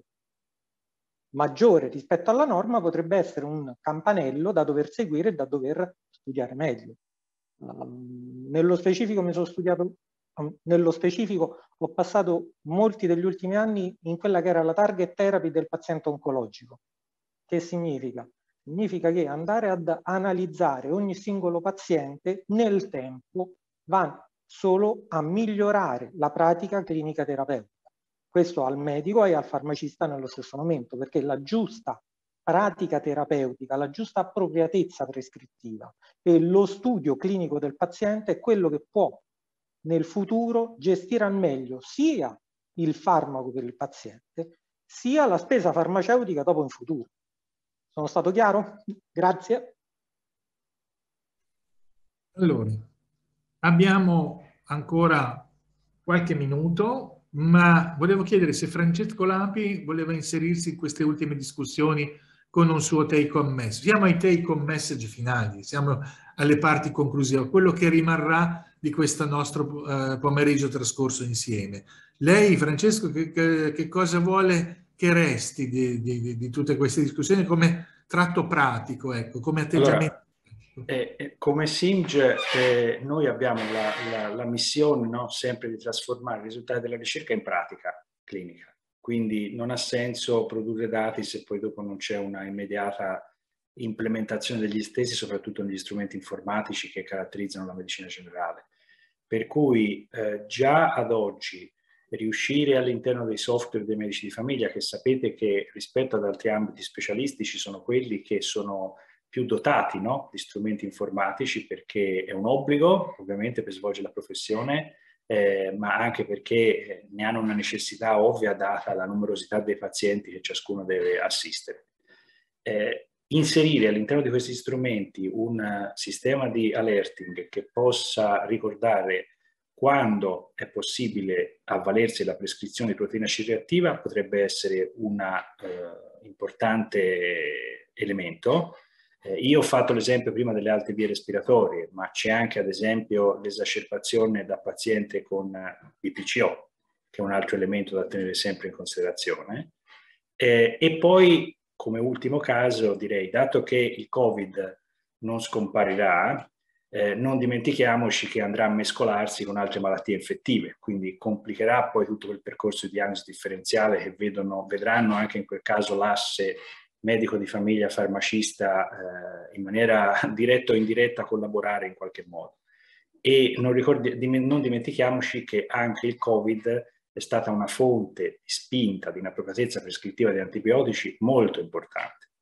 in quanto patologia virale che, eh, ahimè, molti pazienti gravi, per un 20% sono deceduti per sovrapposizione batterica, ma molti pazienti non gravi territoriali hanno ricevuto in maniera impropria una grande eh, quantità di antibiotici eh, che ha sicuramente dato una spinta ulteriore alle resistenze. E se anche in quei pazienti fosse stata più possibile l'eventuale nell'incertezza, possibilità di prescrivere un esame di avere un risultato rapido sulla proteina C forse tante prescrizioni di antibiotici inappropriate sarebbero state evitate. Quindi eh, l'idea è quella che ad oggi il medico di famiglia ha anche, parlando diciamo della mia eh, area di competenza, ha, scientifica ha la possibilità anche di avere degli strumenti di supporto informatico che possono aiutarlo a capire, a ricordargli quanto è importante prescrivere questo tipo di eh, esame e perché no anche a ricordargli se nel suo circondario operativo c'è una farmacia o un'altra realtà laboratoristica, ma soprattutto una farmacia di cui potersi avvalere per poter avere un risultato molto rapido in questo senso. Bene, bene. Allora, abbiamo ancora 20 minuti per arrivare alle ore 17 con le ultime, diciamo così, eh, vostri take home message. Poi se ci eh, vogliamo, mh, quindi chi ha, diciamo così, di voi relatori la possibilità di fermarsi anche dopo, tra le 17 e le 17.30, diciamo così, diamo e, e gettiamo le basi dei, eh, diciamo così, della, del documento di sintesi eh, che deve in qualche modo accompagnare la conclusione dei lavori. Quindi io non conoscendo chi di voi si può trattenere fino alla fine, chiedo se eventualmente eh, Leopardi vuole dare un ulteriore, eh, vuole inserirsi in questa mezz'ora fino alle 17 con un suo intervento altrimenti lo dico a Francesco Buono, vediamo chi si inserisce tra di loro. Ma ehm, non so se il dottor Leopardi ha necessità di dover eh, interrompere il collegamento prima, io personalmente non ne ho fino all'ora che ci eh, diceva appunto il dottor eh, Alessandro Malpelo. Eh, Altrimenti posso fare qualche osservazione io, se nella stessa disponibilità di tempo c'era il dottor Lopardi, ed è quella che credo che le basi di una, uh, proficuo, uh, una proficua stesura di un documento di sintesi sicuramente possano esistere. Sulla PCR, che poi abbiamo giustamente peraltro divagato su tante altre cose, sulla PCR è indubbio l'importanza che ha nella gestione e ormai penso che sia acclarato nella gestione e nel management in senso virtuoso, questa volta questo termine che richiama un po' il manager, nel management ecco, delle infezioni eh, acute abbia sicuramente una sua indicazione. Per quanto riguarda la compartecipazione a quello che è la definizione del profilo di fattore di rischio individuale, eh, chiaramente c'è bisogno di ulteriori studi, c'è bisogno soprattutto di una eh, visione clinica che possa saperlo inquadrare nel contesto di tanti altri parametri che ha, che sono parametri eh, ematochimici, ma sono anche parametri definibili da quella che è la sua eh, storia clinica. Eh, la realtà eh, che è in divenire, la realtà di un paese che consta di metropoli, ma consta anche, questo è un tema che non ricordo chi ha sollevato, eh, centri dove ci sono magari 300 o 400 persone, dove quindi il medico è presente due o tre volte alla settimana perché deve spargersi tra le varie frazioni che costituiscono quell'entità territoriale. Ecco, questa è una cosa che dobbiamo sempre tenere presente perché è il lato virtuoso di quella eh, declinazione locale delle problematiche sanitarie che il decentramento vuole avere. Poi ci sono aspetti magari un po' meno virtuosi, ma questo sicuramente lo è, questo sicuramente lo è perché non possiamo mettere a paragone una città come Roma, come Milano e come Torino con un insieme di popolazione disseminata su territori anche estesi in cui eh, chiaramente il discorso della prossimità è un discorso che va implementato e va sicuramente praticato al di là di quelle che poi possono essere i singoli professionisti, a patto che questi singoli professionisti un minimum set di formazione comune, questo lo debbano avere. Perché lo dico? Perché parlo di minimum set? Perché una cosa di questo genere negli anni passati capitò per quanto riguarda le classiche campagne di, vaccina, di vaccinazione anti-influenzale, poi di vaccinazione antipneumococcica, in cui capitava che magari ognuno proveniva dal suo cursus honorum o corso di studi, per come lo vogliamo definire, quindi con una sua specifica preparazione in materia e si finiva per non parlare mai. Eh, tra, ma, ma in modo comune soprattutto, da quando questo ha iniziato ad avvenire, almeno parlo nella mia realtà territoriale con incontri aperti e eh, gestiti praticamente da tutti, allora le cose hanno cominciato a, a migliorare e i dati anche provenienti dalle vaccinazioni lo dimostrano. Credo che la strada sia quella eh, di implementare eh, durante, eh, proprio durante tutto l'anno momenti di formazione comune che possano, nel rispetto delle reciproche eh, competenze, capire eh, in che modo ci si può vicariare, soprattutto in quelle situazioni dove non c'è un'abbondanza contestuale di tutte quante le strutture. E questo quindi è un po' un commento che mi sento di fare a questo punto di questo interessante incontro. Non so se il dottor Leopardi, che vedo ancora presente, vuole intervenire. Io eh, sicuramente un documento eh, fatto, è doveroso farlo, eh, chiaramente deve essere in, in, eh, indirizzato verso una collaborazione fra professionisti sanitari. Credo che poi dovrebbe seguire a questo un minimo di confronto, almeno io la vedo così, proprio per quella realtà variegata che presenta l'Italia, dalla grande città al piccolo paese, al paese rurale e, e quindi anche alla popolazione rurale, e, ehm, con le istituzioni perché se noi diciamo che l'abuso degli antibiotici è un danno eh, importante per il cittadino, per la comunità, per lo Stato, eh, allora forse non so quanto può essere giusto, mi metto nei panni del medico di medicina di base, soprattutto del pediatra, di dire al cittadino vai in farmacia e fai un'analisi che costerà, non lo so, non ho idea di quanto può costare il reattivo, ma 5, 6, 8, 10 euro, insomma credo che saremo in questi termini, non credo che eh, andiamo oltre, però comunque sono 10 euro che, noi, che il medico costringe la mamma a spendere. Ecco, questo è un problema che ci dobbiamo porre e dobbiamo porre con forza, uniti, compatti, alle istituzioni. Cioè se tu vuoi salvaguardare e prevenire un problema al tuo cittadino, al tuo eh, bambino che vive nella tua regione, devi anche contribuire con quei fondi che ci saranno per le campagne contro gli antibiotici, quelli che vengono spesi per i medici, forse possono anche eh, essere spesi per la CRP. Ecco, questo è un passo successivo che forse dovremmo fare da professionisti sanitari che vedono nel cittadino una risorsa, una persona a cui andare incontro, forse coinvolgere le istituzioni e far sì che contribuiscano a questa campagna di prevenzione importantissima, secondo me forse è un nostro dovere e forse quindi alla fine del documento si può richiamare.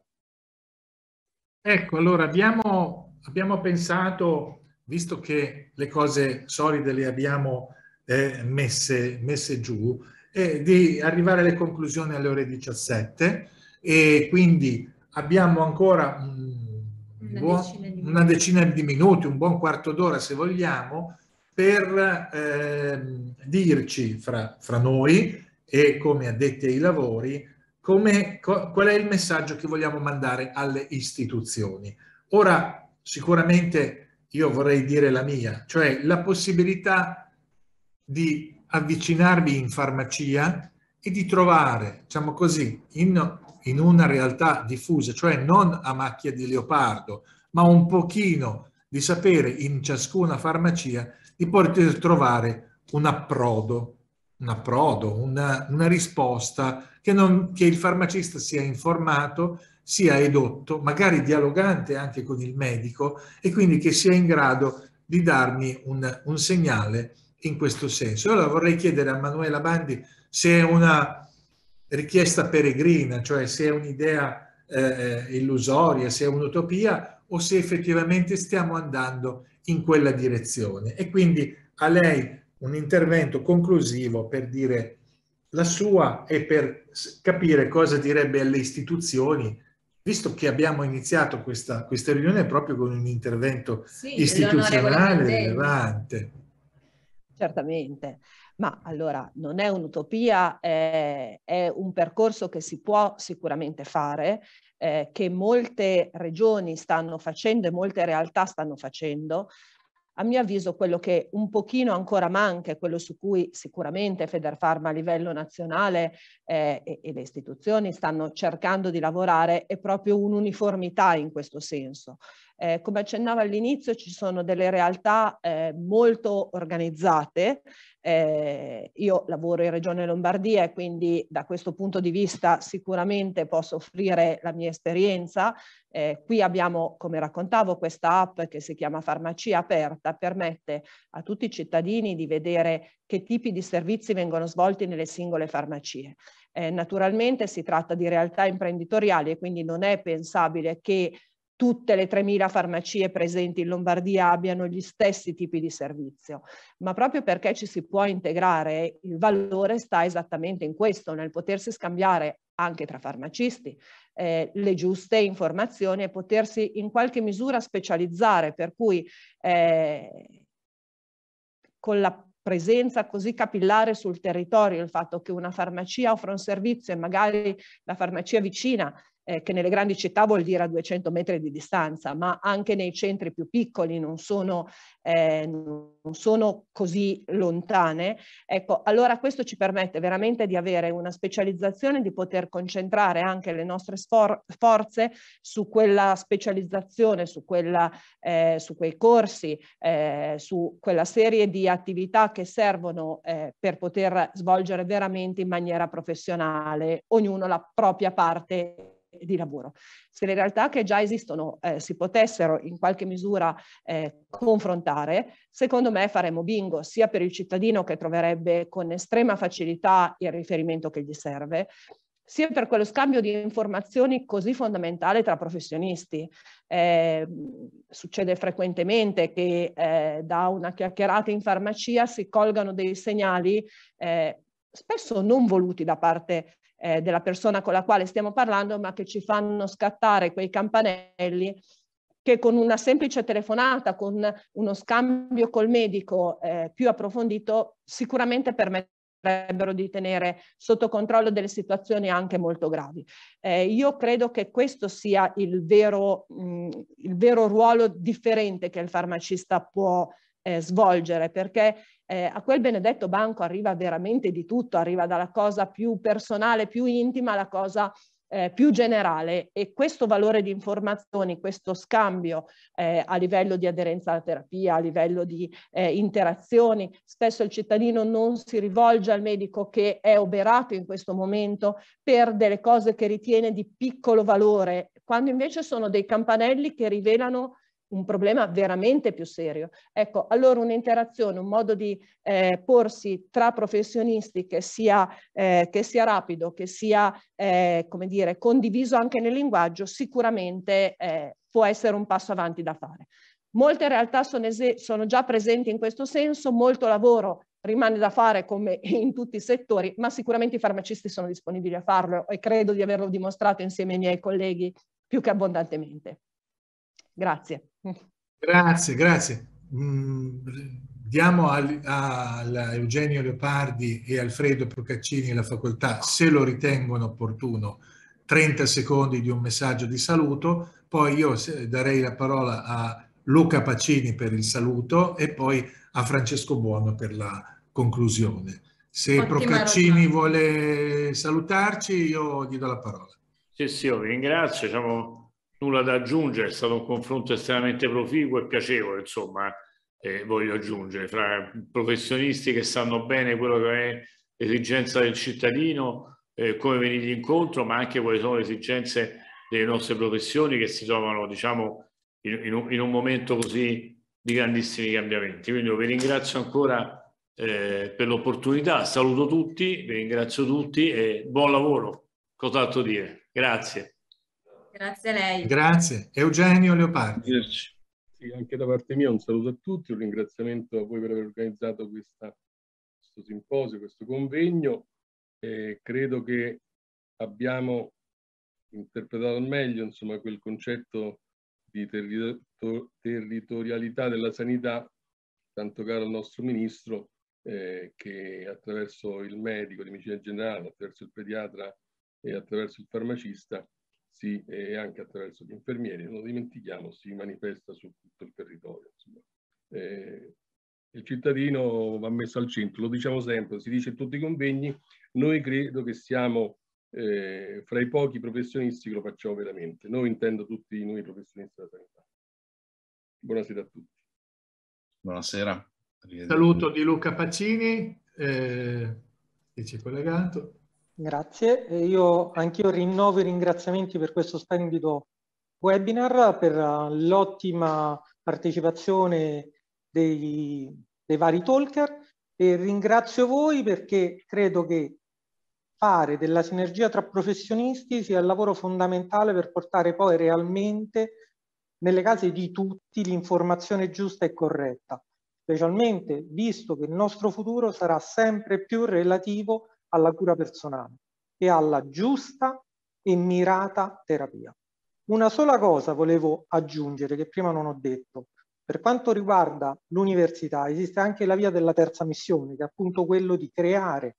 nel, nel giusto territorio la giusta informazione e la giusta crescita professionale tra tutte le attività coinvolte. Grazie ancora, buona serata a tutti e grazie per l'attenzione. Arrivederci. Francesco Buono.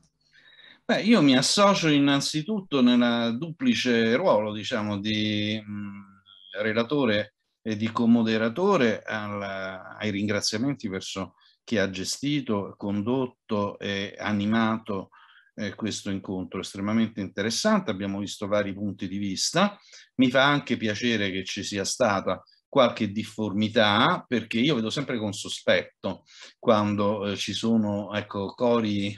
eh, monocordi in cui si, tutti hanno lo stesso punto di vista, tutti ripetono le stesse cose. Ho visto punti di vista diversi, questo credo che sia un arricchimento uh, per tutti. Eh, deve essere implementata la mh, fiducia tra tutte le figure professionali, mi piace anche che siano stati ricordati gli infermieri nel complesso di quello che sarà il cambiamento in atto. E quello che ha detto la mh, dottoressa Bandi mi ha colpito quando dice a questo bancone arriva di tutto, arriva una persona che magari viene in un ambiente eh, dove vengono dispensati dei consigli e dei farmaci e magari se ne esce con un qualcosa che potrebbe sembrare poco interessante e che nasconde invece delle cose da approfondire. Questo sicuramente è, è vero, questo posso garantire avviene pure nei nostri, nei nostri studi. Se noi potessimo trasmetterci con un pochino più di libertà queste informazioni eh, faremo, non faremmo certo un soldo di danno e faremo l'interesse del nostro cittadino paziente. Mi tocca rilevare, eh, lo dico con un po' di rammarico, come eh, talune eh, esasperazioni delle normative sulla privacy che sono intercorse nell'ambito di questi anni hanno delle volte contribuito a, un eccesso, se vogliamo, di riservatezza sulle comunicazioni che non fa il bene di nessuno e credo che in materia probabilmente eh, si debba cambiare qualcosa. Noi sappiamo che non è, è questione di normativa italiana, sappiamo che è normativa europea, quindi i, i, passaggi sono un pochino più complessi, però credetemi, eh, poter avere un po' meno vincoli su tutto quanto ciò andrebbe a vantaggio veramente di tutti e soprattutto dei cittadini. E forse dei rigorismi eccessivi che abbiamo avuto nel passato hanno fatto da pandan a quello che era uno squilibrio in senso opposto quando magari si parlava di problemi intimi e personali coram populo con la porta aperta e con tanta gente che sentiva tutto quello che veniva detto. Questo chiaramente è un eccesso, un qualcosa che non va assolutamente fatto, quindi giuste le aree di rispetto, giusto il colloquio diadico con il proprio paziente, però ecco, magari alcune situazioni, tipo il nipote che viene a prendere il farmaco, la prescrizione del farmaco per il nonno che non si può muovere, magari nemmeno può firmare il consenso affinché ci possa andare il, il nipote nel corso di una terapia cronica. Insomma,